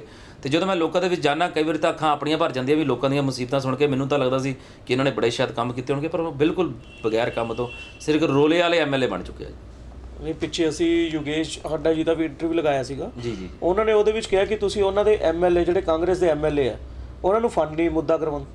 ਮੈਨੂੰ ਤਾਂ ਹੈਰਾਨਗੀ ਹੁੰਦੀ ਆ ਮੈਨੂੰ ਉਹ ਸਾਬਿਤ ਕਰ ਦੇਣ ਵੀ ਕਿੱਲੀਆਂ ਫਾਈਲਾਂ ਲਾਈਆਂ। ਇੱਥੇ ਤੁਹਾਡੇ ਨਾਲ ਹੀ ਇੱਥੇ ਆਪਣੇ ਸ਼ਹਿਰ ਦੇ ਵਿੱਚ ਇੱਕ ਐਮਐਲਏ ਹੈਗੇ ਅਕਾਲੀ ਦਲ ਦੇ ਰਣਜੀਤ ਸਿੰਘ ਢਿੱਲੋਂ ਜੀ। ਉਹਨਾਂ ਨੇ 200 ਤੋਂ ਪਲੱਸ ਫਾਈਲਾਂ ਲਾਈਆਂ। ਉਹਨਾਂ ਦੀਆਂ 125 ਫਾਈਲਾਂ ਪਾਸ ਹੋ ਕੇ ਅੱਜ ਜਿਹੜਾ ਕਹਿੰਦੇ ਸੀ ਸਭ ਨਾਲ ਪਿੱਛੇ ਹੈ ਵਿਕਾਸ ਦੇ ਵਿੱਚ ਈਸਟ ਹਲਕਾ। ਅੱਜ ਤੁਸੀਂ ਦੇਖੋ ਰਾਹੋਂ ਰੋਡ ਜਿੱਥੇ ਟਿੱਬੇ ਹੁੰਦੇ ਸੀਗੇ ਉਹ ਟਿੱਬੇ ਇੱਕਦਮ ਅ, ਡਬਲ ਸੜਕਾਂ ਬਣ ਗਈਆਂ। ਤਾਜਪੁਰ ਰੋਡ ਜਿਹੜਾ ਇੱਕ ਵਾਰੀ ਜੇਲ੍ਹ ਵਾਲ ਕਿਸੇ ਨੇ ਜਾਣਾ ਹੁੰਦਾ ਸੀ ਤੇ ਉਹ ਕੰਨਾਂ ਨੂੰ ਹੱਥ ਲਾਉਂਦਾ ਸੀ ਕਹਿੰਦਾ ਜੇਲ੍ਹ ਤੋਂ ਵੱਧ ਤਾਂ ਡਰ ਲੱਗਦਾ ਸੀ ਸੜਕ ਤੇ ਜਾਣ ਨੂੰ। ਤੇ ਅੱਜ ਉਹ ਸੜਕਾਂ ਡਬਲ ਸੜਕਾਂ ਬਣ ਚੁੱਕੀਆਂ। ਇਸ ਰੋਡ ਤੇ ਤੁਸੀਂ ਚੰਡੀਗੜ੍ਹ ਰੋਡ ਤੇ ਚੱਲ ਜਾਓ ਤੇ ਲੋਕ ਕਹਿੰਦੇ ਹੁੰਦੇ ਸੀ, ਯਾਰ ਇੱਥੇ ਪਤਾ ਨਹੀਂ ਕਿੰਨਾ ਕੁ ਕ੍ਰਾਈਮ ਹੁੰਦਾ। ਅੱਜ ਉਹ ਕਿੰਨੀਆਂ ਸੋਹਣੀਆਂ ਸੜਕਾਂ ਬਣ ਚੁੱਕੀਆਂ ਗ੍ਰੀਨਰੀ ਲੱਗ ਚੁੱਕੀ ਹੈ। ਸਿਰਫ ਕਾਰਨ ਕੀ ਹੈ? ਕਾਰਨ ਕਿ ਉਹਨਾਂ ਨੇ ਫਾਈਲਾਂ ਲਗਾਈਆਂ, ਫਾਈਲਾਂ ਇੱਥੋਂ ਪਾਸ ਕਰਾ ਕੇ ਅੱਗੇ ਭੇਜੀਆਂ, ਅੱਗੋਂ ਫਾਈਲਾਂ ਪਾਸ ਹੋ ਕੇ ਆ ਗਈਆਂ। ਇਹਨਾਂ ਨੇ ਫਾਈਲਾਂ ਕੋਈ ਨਹੀਂ ਲਾਈਆਂ, ਕਾਂਗਰਸ ਕੋਲੋਂ, ਦੇਖੋ ਮੈਂ ਤਾਂ ਇੱਕੋ ਗੱਲ ਕਹੂੰਗਾ, ਕੈਪਟਨ ਸਾਹਿਬ ਆਪ 1 ਵਜੇ ਉੱਠਦੇ ਆ, ਮਹਿਲ ਤੋਂ ਬਾਹਰ ਨਿਕਲਦੇ ਆ ਤੇ ਮਾਣਯੋਗ ਜਿੰਨੇ ਐਮਐਲਏ ਇੱਥੇ ਕਾਂਗਰਸ ਦੇ ਆ ਗਏ ਉਹ ਮੈਨੂੰ ਦੱਸਣ ਵੀ ਉਹ ਕਿੰਨੀ ਕੁ ਵਾਰੀ ਮਿਲ ਚੁੱਕੇ ਆ, ਤਿੰਨ ਤਿੰਨ ਤਿੰਨ, ਚਾਰ ਮਹੀਨੇ ਤੋਂ ਪ੍ਰਧਾਨ ਬਣੇ ਆ। ਉਹ ਇੱਕ ਅੱਧੀ ਵਾਰੀ ਮਿਲੇ ਹੋਣਗੇ ਤੇ ਦਾਸ ਦਾ ਹਲੇ ਕੋਈ ਛੋਟਾ ਜਿਹਾ ਕੋਦਾ ਤੇ ਮੈਂ ਜਾ ਜਾ ਕੇ ਕਿਰਵੇਰੀ ਸੁਖਬੀਰ ਜੀ ਨੂੰ ਹਰ ਹਫ਼ਤੇ ਮਿਲ ਲੈਣਾ ਉਹਦਾ ਕਾਰਨ ਕੀ ਹੈ ਕਿ ਉਹ ਡਾਇਰੈਕਟ ਸੰਗਤ ਨਾਲ ਰਾਬਤਾ ਰੱਖਦੇ ਆ, ਇਹ ਸਿਰਫ ਰੋਲਾ ਪਾਣ ਤੱਕ ਰੱਖਦੇ ਆ। ਇਹ 4.5 ਸਾਲ ਤਾਂ ਸੁੱਤੇ ਰਹਿੰਦੇ ਆ ਕਾਂਗਰਸ ਵਾਲੇ। ਜਦੋਂ ਇਹਨਾਂ ਨੂੰ ਪਤਾ ਲੱਗਦਾ ਇਲੈਕਸ਼ਨ ਆ ਰਹੀ ਹੈ, ਤੇ ਉਦੋਂ 6 ਮਹੀਨੇ ਪਹਿਲਾਂ ਰੋਲਾ ਪਾਣਾ ਸ਼ੁਰੂ ਕਰ ਦਿੱਤੇ, ਹੁਣ ਰੋਲੇ ਦੇ ਵਿੱਚ ਸਾਰਾ ਕੰਮ ਕਰਾਉਣਾ ਚਾਹੁੰਦੇ ਆਪਣਾ ਬਸ। ਹਾਂਜੀ, ਗੱਲਾਂ ਬਾਤਾਂ ਤਾਂ ਚਲਦੀਆਂ ਰਹਿਣਗੀਆਂ, ਹੋਰ ਵੀ ਇਹ ਗੱਲਾਂ। ਆਪਾਂ ਮਿਲਦੇ ਹਾਂ ਬ੍ਰੇਕ ਤੋਂ ਬਾਅਦ।